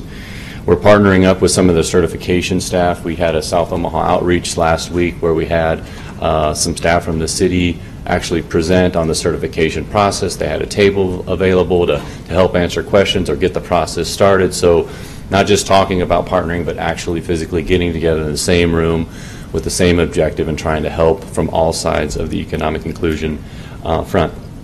Again, we've, we've had a chance to visit with Metro Community College, and we're having some conversations with them about what type of education is needed in the market immediately and then long-term to try to help propel uh, the economic inclusion from, with an educational perspective. What does that look like? You know, there's a lot of, lot of need there. So we see some immediate opportunity, and we're working on some programs to address immediate needs. I think the conversation with Metro might be a little bit further out on, on when maybe some of their facilities are done. How do, how do we create a curriculum, or how do we create a, a pathway? Much of the conversation that was uh, held here tonight. And then the other piece, you know, to really underscore, there is so many different fronts and, and so many different conversations that we're having on, on the collaborative efforts. You really need someone to lead that where their day-to-day is focused on this, this is their objective, you know, and they're driving the results that are set by policy or set by plan that the, that the board expects of them. Uh, in, in summary, the, the plan focuses spending on local communities, spending in local communities, pardon me. Complies with the state constitution. Um, It's supported by OPS communities and vendors. We've had a lot of different outreach discussions, not only just about opportunities for work, but about the plan, how it would work. Again, partnering with the city on certification, trying to understand what level of debundling we need to go to, and, and those detailed conversations. So um, we're, we're trying, again, to, to try to, to attack it from a multiple uh, prong perspective. And then, this was mentioned earlier tonight, but uh, I believe, and, and I think the team that's really worked on this day in and day out and, and have been part of the, the frontline conversations, this plan puts the district in the leadership role of this issue. There's a lot of conversation uh, in the marketplace and a, and a lot of strategizing going on, which I think long-term will continue to, again, collaborate and be a part of that. But what the community um, has expressed to us, what, what our prime contractors, you know, is, is more about action. And we've been able to take a lot of, lot of good action on the, on the front end of contracting changes, methodology for the payment, I think, you know, that was mentioned before. But we've been able to take a lot of great steps, um, and to have an approved plan, I think, really brings the credibility of everything that's been done. It, it's really going to energize and continue to propel the momentum forward. So th- that's really what I have for, for this evening. I'm available to answer any questions. Well, I want to thank you for clarifying some of those items that have come up before, both for our sake and for the public, so that they understand. Does anyone have any questions at this time? Mr. Snow? Obviously, we've had this discussion before. Um, Really, not much has changed. Nothing's changed in your plan at all. Um, We had people from the community, some people from the community, um, some people just in the field that they actually do, come up and advocate that we are doing something different, and we need to make a stand now and vote yes, and that we need to stop the politicking and think outside, I mean, which is ridiculous in my opinion. I personally believe, and I've said this before, and I'll make my statement one more time, and I'll leave it at that, is everyone always says we can have 7%, but we can exceed that goal. I personally believe I'd rather have set that goal high and fail trying to achieve that goal. I believe that having a third party help us achieve that is the best way to do it. This isn't a third party in Omaha that's been doing, this is somebody, this is an organization that has done this outside of Omaha, or, I mean, whoever we decide to, to do that, to help us achieve that. Work with you, work with the team to make sure that at the end of the day, their goal is to get us to that goal. And that's been my overall issue with it, is that it should be higher, and that we should have a third party help us get to that goal. Now, doesn't mean I'm, a- I'm voting, because I'm going to vote no for this. And it doesn't mean that I'm against the plan that you guys have created. I've just been advocating for this, and in my opinion, I don't really feel that I've been getting that same fair share. There's, that's probably makes sense to that thing there, but I wasn't getting my fair input in that, that it was coming back, It's like, you know what, let's figure out how we can work that, or X, Y, and Z, whatever that may be. It was always more hostile, like, why do you want this, blah, blah, blah. And it wasn't you, that's just people I've talked to before about it. But th- that's been my issue. And I think the, the intent of the plan is, is to be dynamic. So your, your comment on what the goal should be, uh, hiring an external component, I think all of those things are still available. I It- agree, I It's agree, not, but this, I- this is a, you know, this needs to be living. It has to be in order for us But to, the- to utilize it. The issue, the issue I have is often when people say, well, we can come back to something later on, that's, that's all great. But most likely, usually you don't come back to issues like that unless they're completely failing. You usually put it in the back of your mind. I'm saying if we start off on the right foot, and everyone's like, this is a living document, we can come back, but are you, are you guys going to come back and recommend that we go to 10%? Or does it the board? Because we're not Well, the experts on that. Part, So part of the we're gonna be plan is the you economic, sure, but part of the plan is the economic inclusion leadership team, which is a a cross-functional team made up of, of district. We have representatives on it. It's, it's, a it's a group of people inside the district, outside the district. You would bring in other owner agencies from time to time, time to time, depending on the topic that needs to be addressed in those discussions. And that team or that committee is the group that would come back with a recommendation and say, we've gotten a year's worth of data, of- of real information with this program, or six months. Here's where we're at, here's where, what adjustments we need to make, and this is why. So that, that group is ultimately the the conduit back to report and say, we're doing a good job of this, and, and we should change the goal to 12, because we really found a good source of, of, of uh, So who- contracting here. So who leads that committee? Uh, The, the. Who's the, who's the overall vision It would, leader of that it would, committee? re- it would report up through Dr. Nordquist, I believe. Thank you. Ms. Underwood?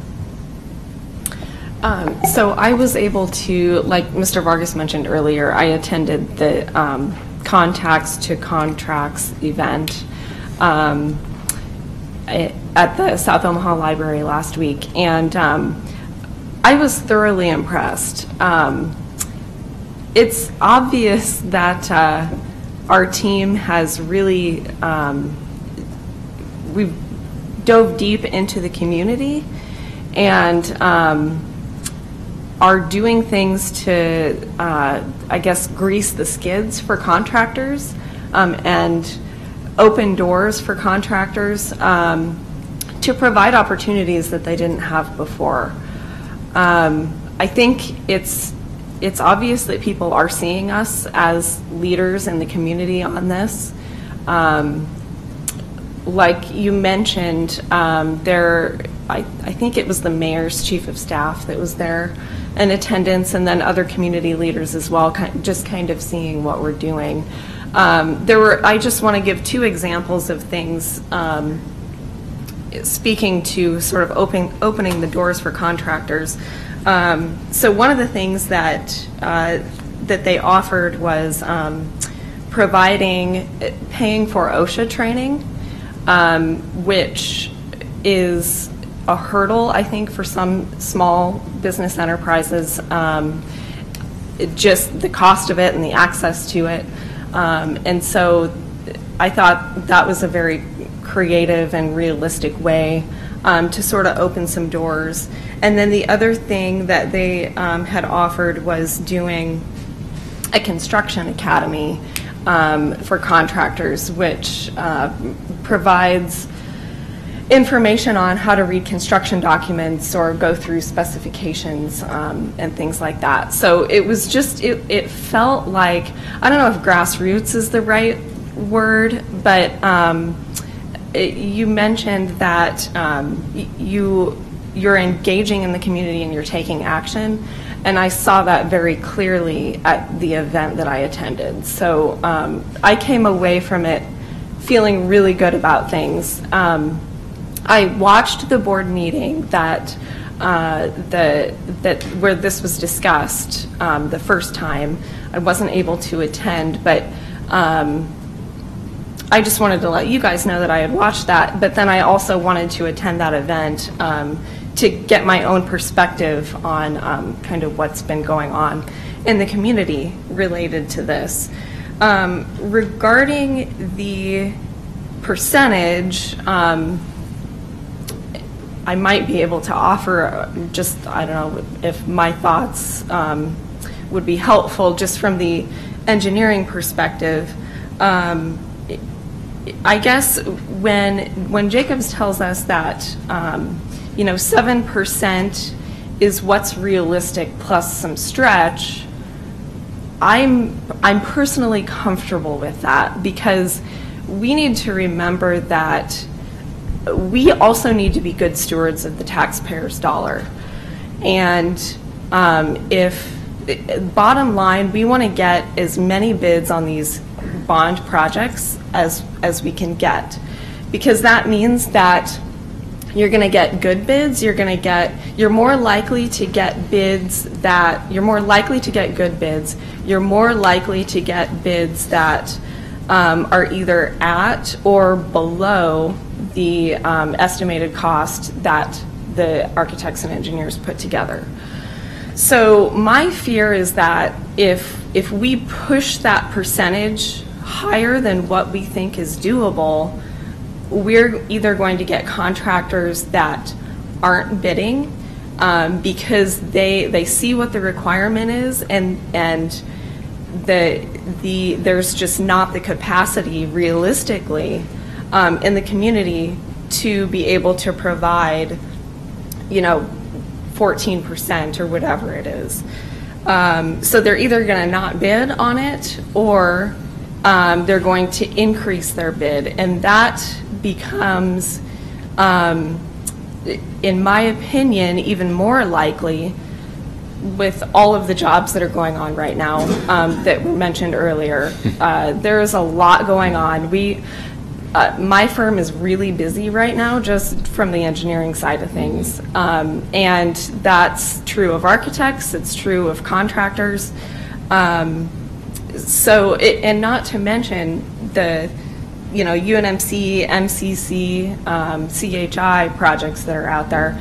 But I think it was either two or three other school districts that just passed bonds as well. Um, I think they were kind of waiting to see how ours went and then uh, went for their own. So there's a lot of competition in the marketplace, and I would just um, encourage my fellow board members to keep in mind we, we need to be good stewards of the taxpayer dollar and trying to push something above what's realistic. Um, it, it, to me, it, it's, it's stretching that a little bit, and um, we might be looking at bids that are coming in a lot higher than anticipated. So that's my thoughts on that. Thank you. Anyone else have comments? Ms. Williams? So, my first thought is I've, um, we previously had the conversation of talking about um, a position, a program director, and I've went back and forth between a consultant um, and a program director, and really coming to the real, realization that it is truly up to Mr. Evans to um, hire that staff, and so I don't think that's something that we should talk about. However, my personal thought is, as we pass this plan, you know as well as I do that I, I believe if you if you say it, you claim it, and it comes true. Um, so I'm, I'm very much in favor of this plan. I have been all along. We're, we are leading the work, and that's something, Mark, that you said, that the city has noticed. And outside of the city, people are noticing. I mean, you have people that are trying to get consultant jobs and, and come here to get some of this work because what we're doing is truly leading away. We went from zero, and now we're at something that it's feasible, and we can realistically do this, and we can grow this. Um, my other thought would be if we can also work with uh, Jacobs to help retain the services, uh, Ms.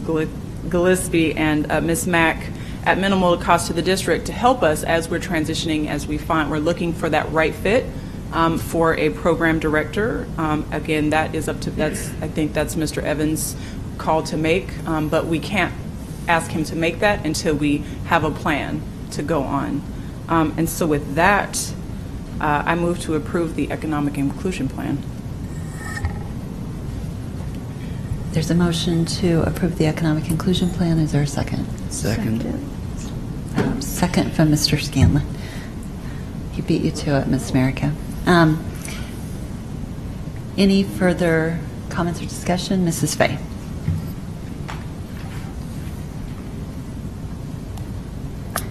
So I'm going to be voting in support of this plan tonight, and um, I just as Mr. Snow said, I don't have any, never have had any particular problems with the plan itself. Um, My, my, my concern about this whole process is that I really truly believe that, you know, we've had, what, a month since the last board meeting. And I, I really truly believe that you probably, we could have um, taken what has been a fairly divisive issue and we could have a unanimous vote. I really believe that. Um, and send the message that several folks from the community asked us to send. Um, if there had been, this had been a more um, inclusive process, and I really don't think it was. And I, I know that there were direct requests to um, sit down with the dissenting vote from our last board meeting. I know that there were direct requests to review policy um, just as a starting point and to come at this from a policy angle instead of approving a very long and detailed plan, which as Ms. Williams pointed out, those are really the things that Mr. Evans should be doing, is approving the plan once we've set those parameters through policy.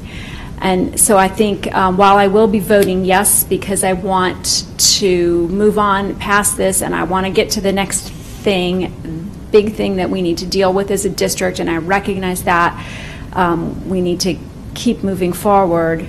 Um, I hope that when other potentially divisive and large issues come before us, we step back and we look at them from the perspective we should be, which is at, at a policy level, and that we take into account that um, building consensus is something to be valued. It, listening to all the voices on the board and trying to to work together on these things that are um, more controversial is important and sends a really powerful message to the public that we're uh, trying to do something in a united way. That's not lockstep. That's not what that means. But I don't feel that that happened on this after some really direct requests to try and make it happen. So let me just respond to that briefly. Um, According to Webster's, a policy is defined as a high-level overall plan embracing the general goals and acceptable procedures, especially of a governmental body. I reached out to several folks just to get a clearer understanding, and a, a plan truly is a policy. Um, in this particular case, we're talking about economic inclusion plan being the policy. Um, a str- student assignment plan is a policy. Strategic plan is a policy. So from that aspect, I think what we are approving tonight is a policy which is encompassed in this plan. Um, and plans often have greater detail. For instance, the student assignment plan, the strategic plan, which maybe have an endpoint or are part of a program, and this happens to be part of a program related to the bond, which you know, we hope will be able to pass future bonds, and it doesn't um, necessarily end, but gets but has that opportunity to be tweaked as we move um, through it, similar to other plans that would be tweaked. Um, I felt as though the items reflected in Appendix E, which were the specific questions which I asked, I asked all Board of Education members to send their questions specifically to Mr. Ray, so that from a strategic and from a um, professional knowledge of those answers, they could be answered. And so if you reflect on, and I cannot get it open, um, Appendix E, that specifically answered the questions that were submitted to Mr. Summers, is- is my understanding. Correct. From board members.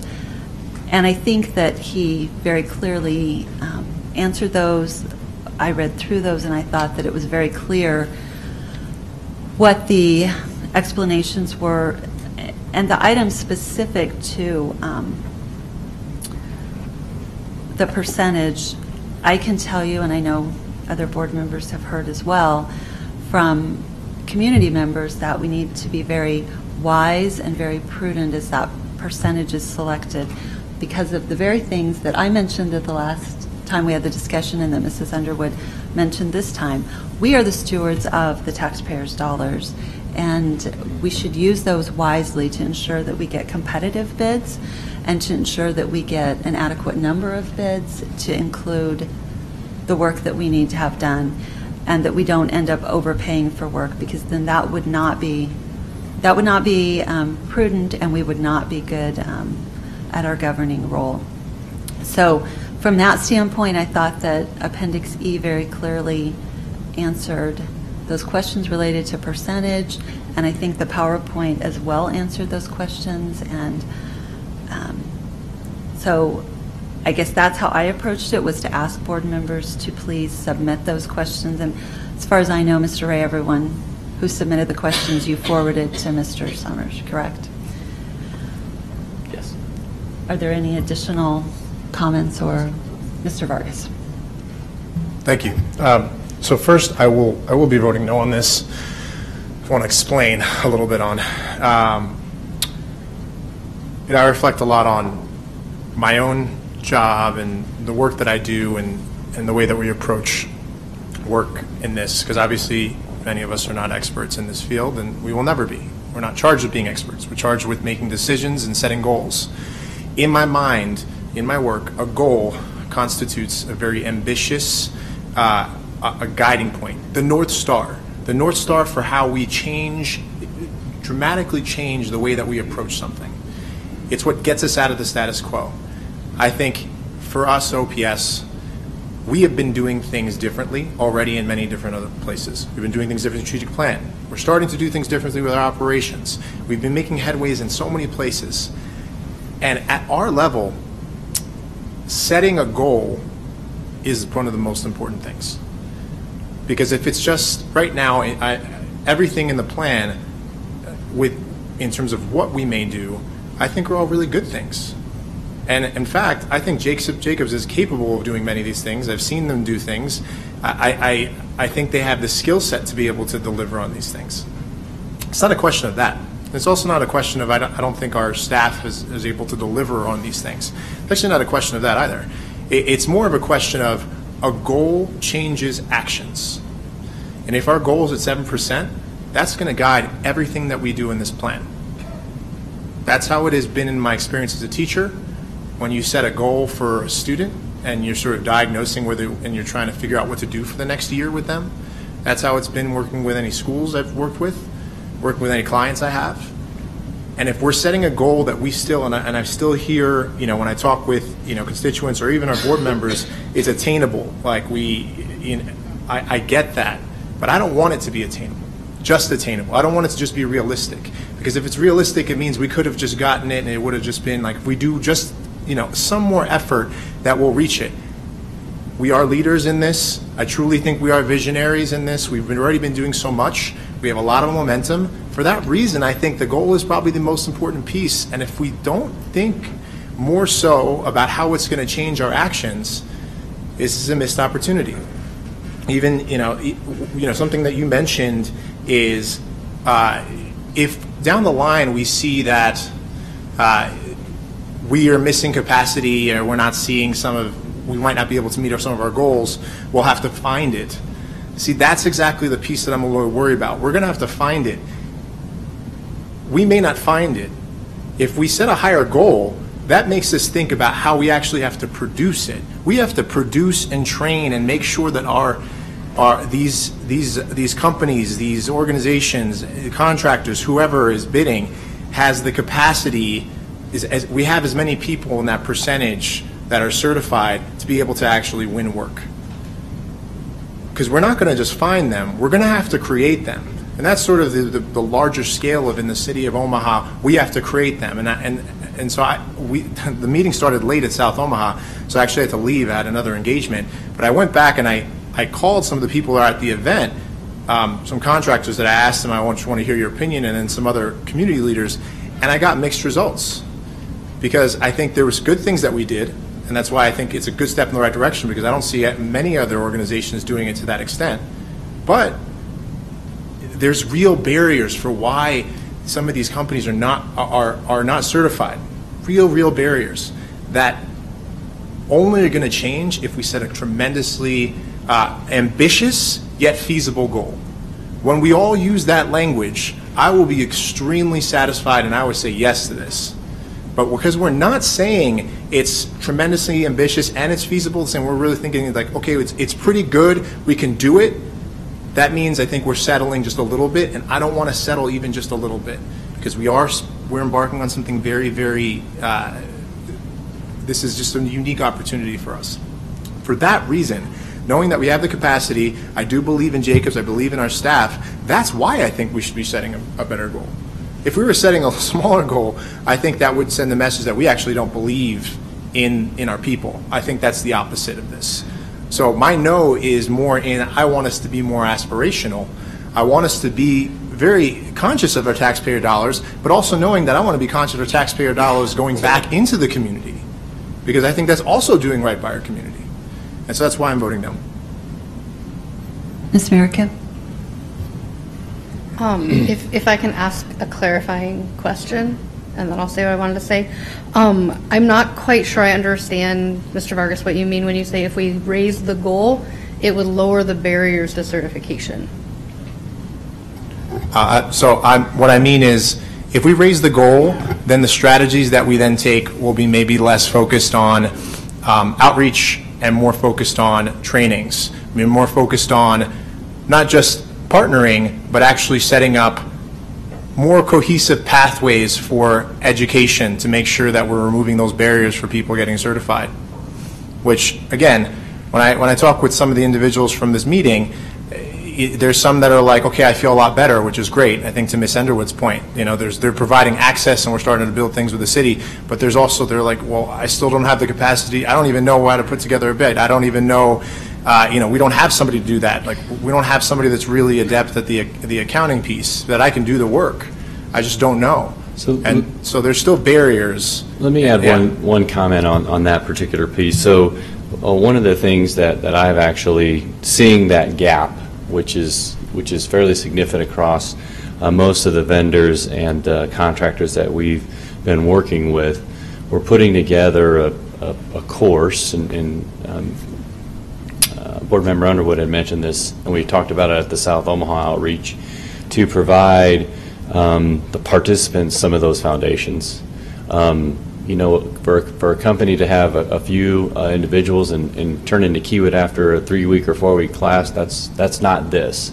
But what it will do is provide um, document reading, some fundamental principles about estimating, how to, how to handle or how to um, create good safety culture, how to market your company, how to schedule work, all of the fundamental things that contractors need to, to understand, to not be masters at, but to understand as a small business what things in a contract are big deals. There's a lot of stuff in contracts that are there because it has to be there, but what are the payment terms? What's the termination clause? So we're, we're putting together, and I've been working on it kind of um, quietly, I would say, for a few weeks, and I have the support of my leadership, which is significant. Um, And we're, we're wanting to, to, to kick off our first class at the beginning of June. Um, But we understand the urgency and the need. So I know we haven't, it's not in the plan right now, but we have to do those things. It's something that Jacobs is just doing on our own. We're not asking a bunch of vendors to come in and take care of it for us, because that, that issue is the same conversation that I get into, is at the very technical level, what, what building blocks do we need to start putting in place? So um, we'll have some more details in the future about what that looks like uh, over the next couple of weeks. I've been sharing it with Dr. Turnquist. Um, But again, it's, it's actionable. It's, it's, it's bringing people into a classroom and sitting down and looking at technical information, building those parts and pieces. So uh, I just, I just wanted to, to cut- it came up a couple times, so I just wanted to make sure I got that That- That's, in. that's tremendously helpful. It actually gets more to the, I'm just responding because Uh, there's I'm- something you're you know responding to me. But- Well, Okay, go ahead. I'm- Because you I'm asked me a question, but. Is it okay, or are you, okay, go ahead and finish, but Miss Merica wasn't done, and I wanted to make sure we were respectful from a point of order. I did not call the point for Um, I am, I am going to be voting in for, in favor of our economic inclusion plan. Um, I, I disagree with the statement that this hasn't been an inclusive process because I think as board members, we've been invited to sit down one-on-one at times and meet with the representatives from Jacobs and discuss our concerns or just our general ideas um, and things that we thought were important to the plan. And we've been involved in the shaping of this since day one. Um, anytime we've had questions, we've had the opportunity to raise them and had, have them be answered. And I hate to sound like a broken record, but we discussed this at the last meeting where we discussed this. We can change the percentage. We have the power as board members to do that. And if we think it should be a different percentage, we can make a motion to do that. Um, I know at our past meeting, Mr. Wayne had made a motion to do that, but there were some things that we did not all agree on, and so it didn't pass. But if there are board members that feel the percentage should be different than seven percent, there is nothing stopping you from changing that. Mr. Scanlan. I'm a, I've got the background in the constru- construction industry and steel fabrication, and I would say that um, this is a very incredible program that doesn't exist. I mean, the states that um, we do work for, they set aside a percentage, and basically they don't care who who you outsource your uh, cleanup to or or supplies. All they care is you know you've got a 2.5 percent goal to mat or to meet, and if you can meet it, great. Sometimes if you can't, they put a dollar amount on it and say, well, you know, the, this low bid um, didn't meet it, but we're willing to waive it. And usually those are around 2.5 um, percent. Uh, never have I ever seen a program that tries to uh, help uh, emerging businesses learn the ropes of the contracting business and get in contact with uh, general contractors. Um, I will say that I feel that this is a very ambitious goal of 7% based on the current capacity of Omaha. And I think if, um, if we can have an honest assessment, what do we truly have in your professional opinion? I, in my professional opinion, I think it's truly more like 3 to 5% of what our capacity currently has.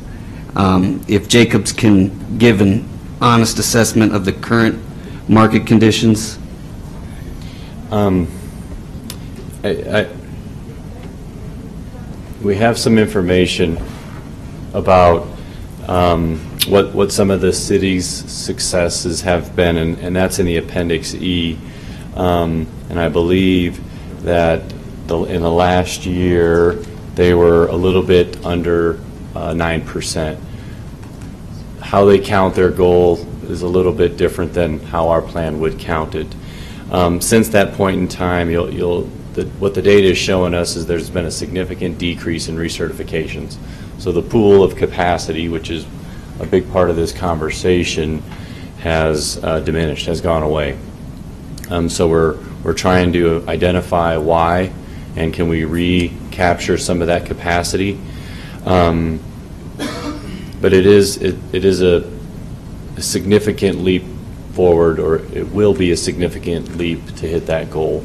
Currently, again, with some of the, the information, there's 27 providers in the market in general contracting, and we have um, a goal of 7% of 222 million really to spend if we took a snapshot today with those 27 entities. Now, they're not all, they don't all have the same capability, they all do a little bit different type of work, so we got to continue to drive into the details of what is their true capability, because just being certified doesn't indicate capacity or the number of folks they have or their, their quality of work and all these other things that go into being successful. So um, I think given the, the information that we have available and all of the discussions and data mining that we've done, we definitely feel like 7% is going to be a challenge for sure. There's just no, just looking purely at information, it is. And then when you dive into what the information actually is, it, it really becomes uh, apparent about how significant of a stretch that's going to be. so you'd say that we're already setting this very high bar for what the capacity of Yes, Omaha sir. currently is. Yes, sir. And if we continue and implement this plan, the a success would be that we start to build that capacity as we continue through the bond program. Immediately, correct. So I think that the- what board members need to understand is we need a starting point, a realistic starting point, and to say, well, you know, I want you to, I want you to go undefeated this season, and you're just starting your team. I think that's unrealistic, it's unfair to the district, it's unfair to Jacobs, and it also then becomes a, oh, well, hey, why didn't you meet this 10% goal? I said we wanted 10%. Well, I'm telling you, it's not a, it's not possible at this point. The professional opinion is 7%. You can aspire to do everything and have it be, you know, 25% and all this, but if the capacity is not there, which is what they're telling us, then it is a, a foolish goal to set, because then the community will begin to lose faith in OPS, saying, well, they didn't reach the 10%, they're not trying to get to that 10%. It's going to be a stretch just to get to the 7%. And I think that that is a very, very aggressive starting point when we currently don't have that capacity within Omaha, but hopefully this program builds it in a very unique way that is, I've never seen in the uh, construction industry. So I think that this, this goal is, is very realistic in the sense of being uh, very ambitious and far-reaching. So I think that uh, some board members should realize that it is not settling for the minimal amount. Okay, anyone who hasn't spoken yet? Mr. Wayne? I will be voting no, just for a couple of reasons. Uh, One, the general contractor listing is a little misnomer. Um, First of all, it's a four-hour exam. You got to carry workers' comp just to even be able to be a general contractor, which is additional 5,000, typically four to 5,000. Um, So, for example, Jo- uh, Jackson Concrete, who gets a lot of city work, they did like 200-something thousand. They're not a general contractor, so I don't want you to assume that because there's not that many general contractors, that that means something, because the general contractor, there's different requirements, so there's a lot of other things that, that involve. So I just want the board to understand that. I'm concerned now about hiring somebody in-house when um, we don't know our budget. We've heard about the deficiencies right now in our, in that area regarding our facilities and, and buildings and grounds. Um, We have a new teacher's contract. Uh, When asked last meeting about whether teachers might be let go or not, or hire less, or bigger classrooms, it was all in flux. And I think by demanding that we hire somebody or putting a plan that we hire somebody concerns me without knowing the whole budget and not knowing the new priorities that, or how they're going to handle the, the audit that we just got. Not even sure how this fits into what we just got. And the last two are kind of my biggest reasons. I don't think this process was inclusive. A week went by past our last meeting.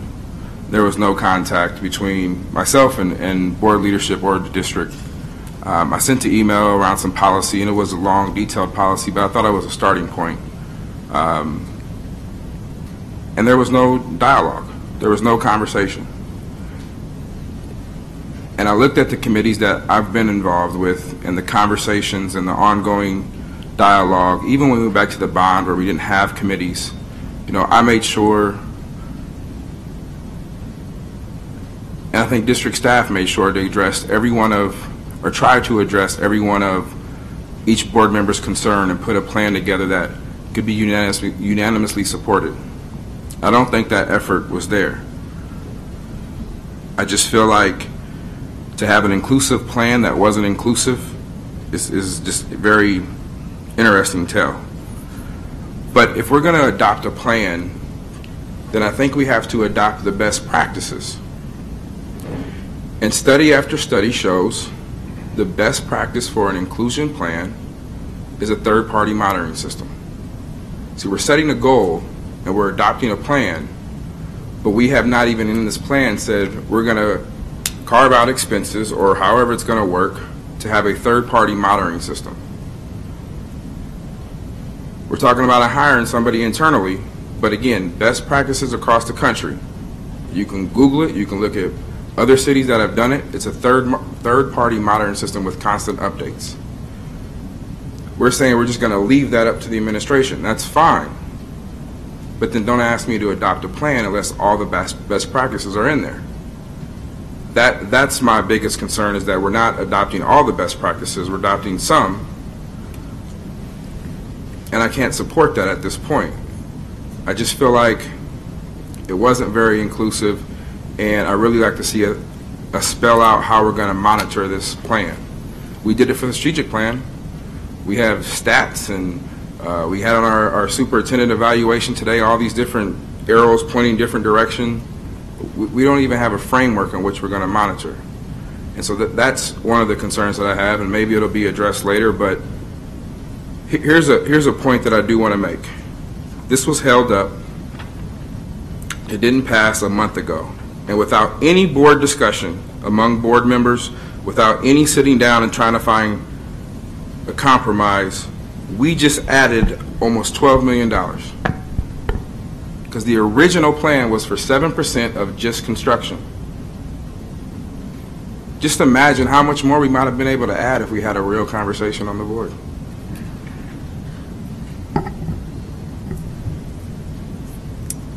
I did respond to the email.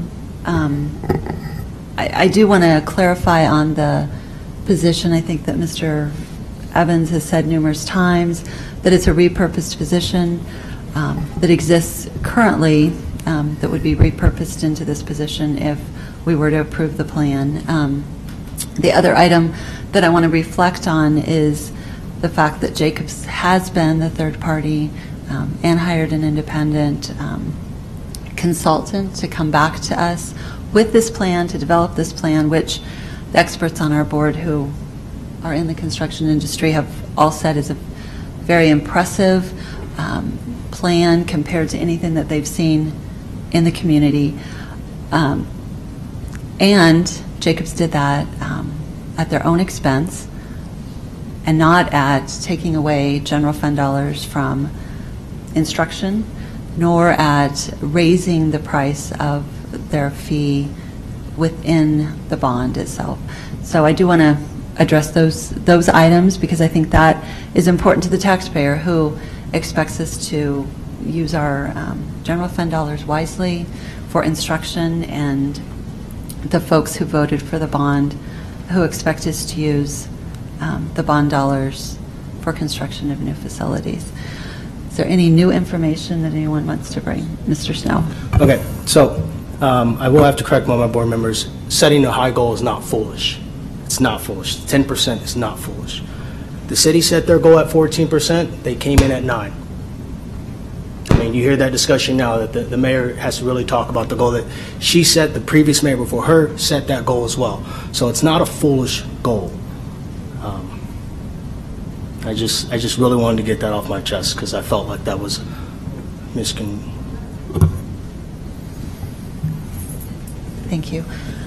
Okay, if there's no other new items that anyone wants to discuss, uh, Mr. Ray, roll call. Underwood? Aye. Vargas? No. Wayne? No. Williams? Aye. Fey? Aye. Goding? Aye. Merica? Aye. Scanlan? Aye. Snow? no. Six aye, three no. Motion carries. With that, we will move on to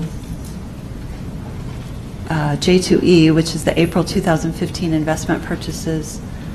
I'm just going to quickly tell you why I pulled that off the agenda. Um, There is a $25 million purchase of Atlantic Global Yield Opportunity Fund, and I, um, it's my understanding that that was not discussed at the OSERS trustees meeting as far as specifically what that was.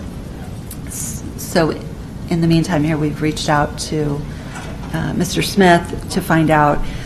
It's my understanding that it's a movement of funds from the Fountain Capital Fund, which is being discontinued and and closed out, into another high-yield fixed income fund, um, which was a high-yield in, fixed income fund into more of a global yield um, to ensure that those funds are fully invested in something. So I just wanted to make sure that there was clarification to the board on it's a large purchase, and um, so I wanted to make sure that there was clarification on that item. Is there any questions on that? Mrs. Fey? I appreciate you pulling it off and seeking clarification. Is it just, if that, since that fund was discontinued, is it just so that we are um, consistent with our investment policy statement because of the percentages that we allocate to the various? Well, I'm, ass- I'm assuming it is if the. um, Just trying to the- stay Right, if the trustees approved that item at the last OSERS meeting, I'm assuming it stayed within the asset allocation. And, and there was no been. discussion. It was presented without discussion. So um, the, the assumption being that it's just to keep the asset allocation balanced um, since the one fund was discontinued. Right, I think until not leave Okay. 25 million sitting in cash. Right. Would be the assumption. Right. Um, So if there's no, qu- I guess, if there's a motion for the, um, the approval of all of those um, purchases, that would be the, I move approval of the April 2015 investment purchases for OSERS. Is there a second? Okay, so a motion by Mrs. Fey and a second by Ms. Williams of the April 15th investment purchases, which, or the, I'm not sure it's April 15th. April of 2015 purchases, which are in front of us on the attachment. Is there any questions? If not, a roll call, please. Vargas, Aye. Wayne, uh, Williams, Aye. Fey, Aye. Goding. Aye. Merica, Aye. Scanlan, Aye. Snow. That's seven aye. Motion carries. Um, I don't think you called my name. Oh, sorry. But you're in my adding. Um, Underwood. Right, aye. I didn't, I didn't think I heard it either, but I thought I must have been, I also didn't call on Mrs. Fey earlier, so I apologize. Um, So now we're going to move back to J2B, which is the first reading policy 4007, and I will call upon Mrs. Neelis Brash. If I can, Mrs. Goding, since I asked to be pulled, for it to be pulled off. Yes. And then maybe that will provide Mrs. Neelis Brash with the opportunity to be more brief in her explanation. So I asked for this to be pulled off um, for two reasons. Number one, I have personally received a lot of um, contact from staff who have been confused about pra- past practices and current implementation of the change, not, not the policy as it is here, but as we adopted it back uh, around the end of the year, I think.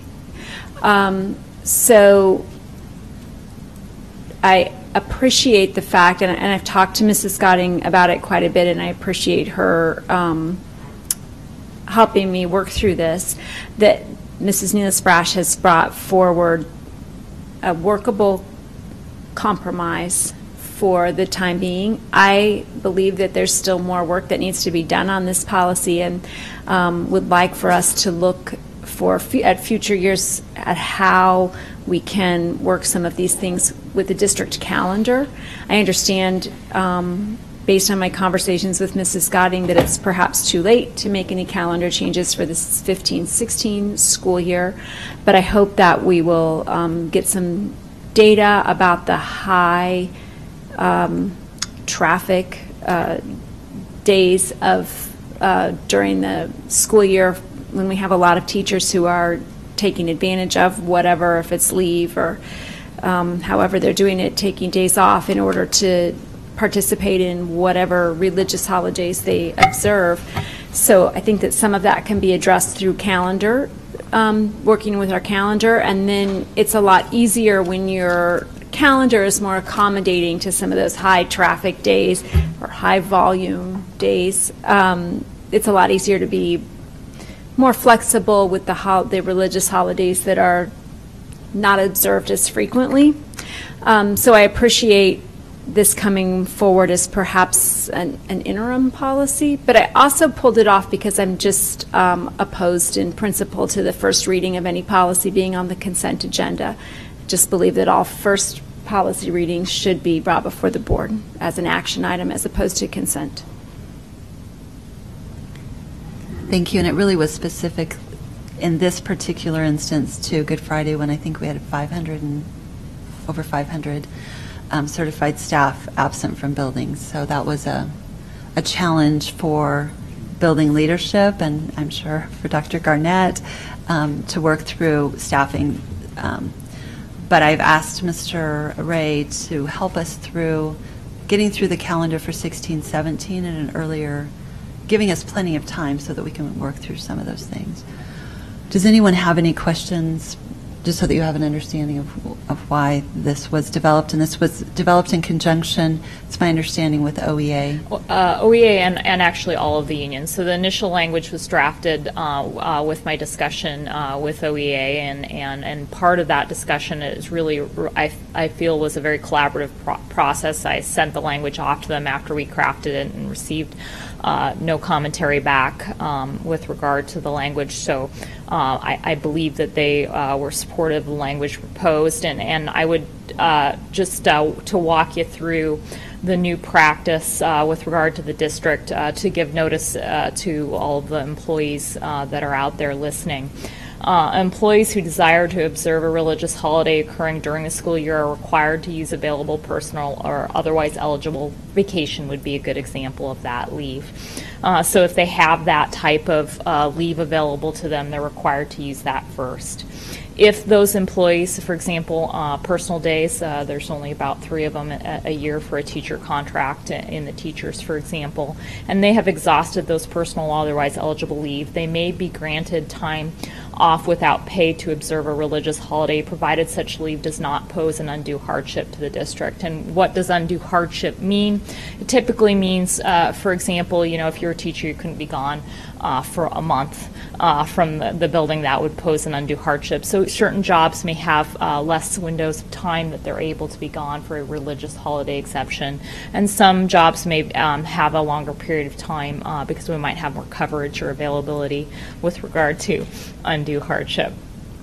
So, uh, it just uh, sort of depends on that. Uh, employees who have exhausted uh, their personal otherwise eligible leave to observe a religious holiday may be uh, requested unpaid uh, leave to attend uh, to personal matters that cannot be resolved at any time other than during the school day. And so uh, that sort of uh, provides uh, some flexibility if they've used all of their holiday, all of their personal days, for example, for these religious holidays, and they have to do something during the school day and they don't have any leave left, it allows some unpaid time uh, with regard to that religious exception. So I, I think it pro- provides that flexibility um, that the employees are, desiring. It also provides uh, clear notice, I think, as to what the expectations of the district are uh, with regard to practice and religious holiday exemptions. And I, I- and I believe that it, it reflects uh, comparable good practice, uh, looking at comparable employers as well. Are there any questions? Okay, with, with that, um, Mrs. Ms. Williams. I move to approve the recommended changes to policy 4007. There's a motion to approve the recommended changes to policy 4007. Is there a second? Second. Second by Ms. Merica. So motion by Ms. Williams and a second by Ms. Merica to approve the changes to policy 4007. Any further discussion or questions? Seeing none, roll call, please. Wayne? Williams? Aye. Fey? Aye. Goding? Aye. Merica? Aye. Scanlan? Aye. Underwood? Aye. Vargas? Aye. Seven aye, one no. Motion carries. With that, I would um, refer you to receipt of reports. The Educational Service Unit Coordinating Council um, monthly meeting report from April is on the board agenda. And with that, Ms. Williams. I move that the Board of Education go into closed session for the protection of the public interest and for the pr- for- for- ugh, I'm tongue-tied this evening, and for the prevention of needless injury to the reputation of individuals, to discuss with the superintendent, secretary to the board, and legal counsel, legal advice and pending litigation. Motion by Ms. Williams to go into closed session. Is there a second? Second. Motion by Ms. Williams and second by Ms. Merica to go into closed session. Roll call, please. Williams? Aye. Fey? Goding? Aye. Merica? Aye. Scanlan? Aye. Underwood? Aye. Vargas? Aye. Wayne? Eight aye. Motion carries. Let me remind the board that the purpose for closed session is for the protection of the public interest and for the prevention of needless injury to the reputation of individuals, to discuss with the superintendent, secretary to the board, and legal counsel, legal advice and pending litigation.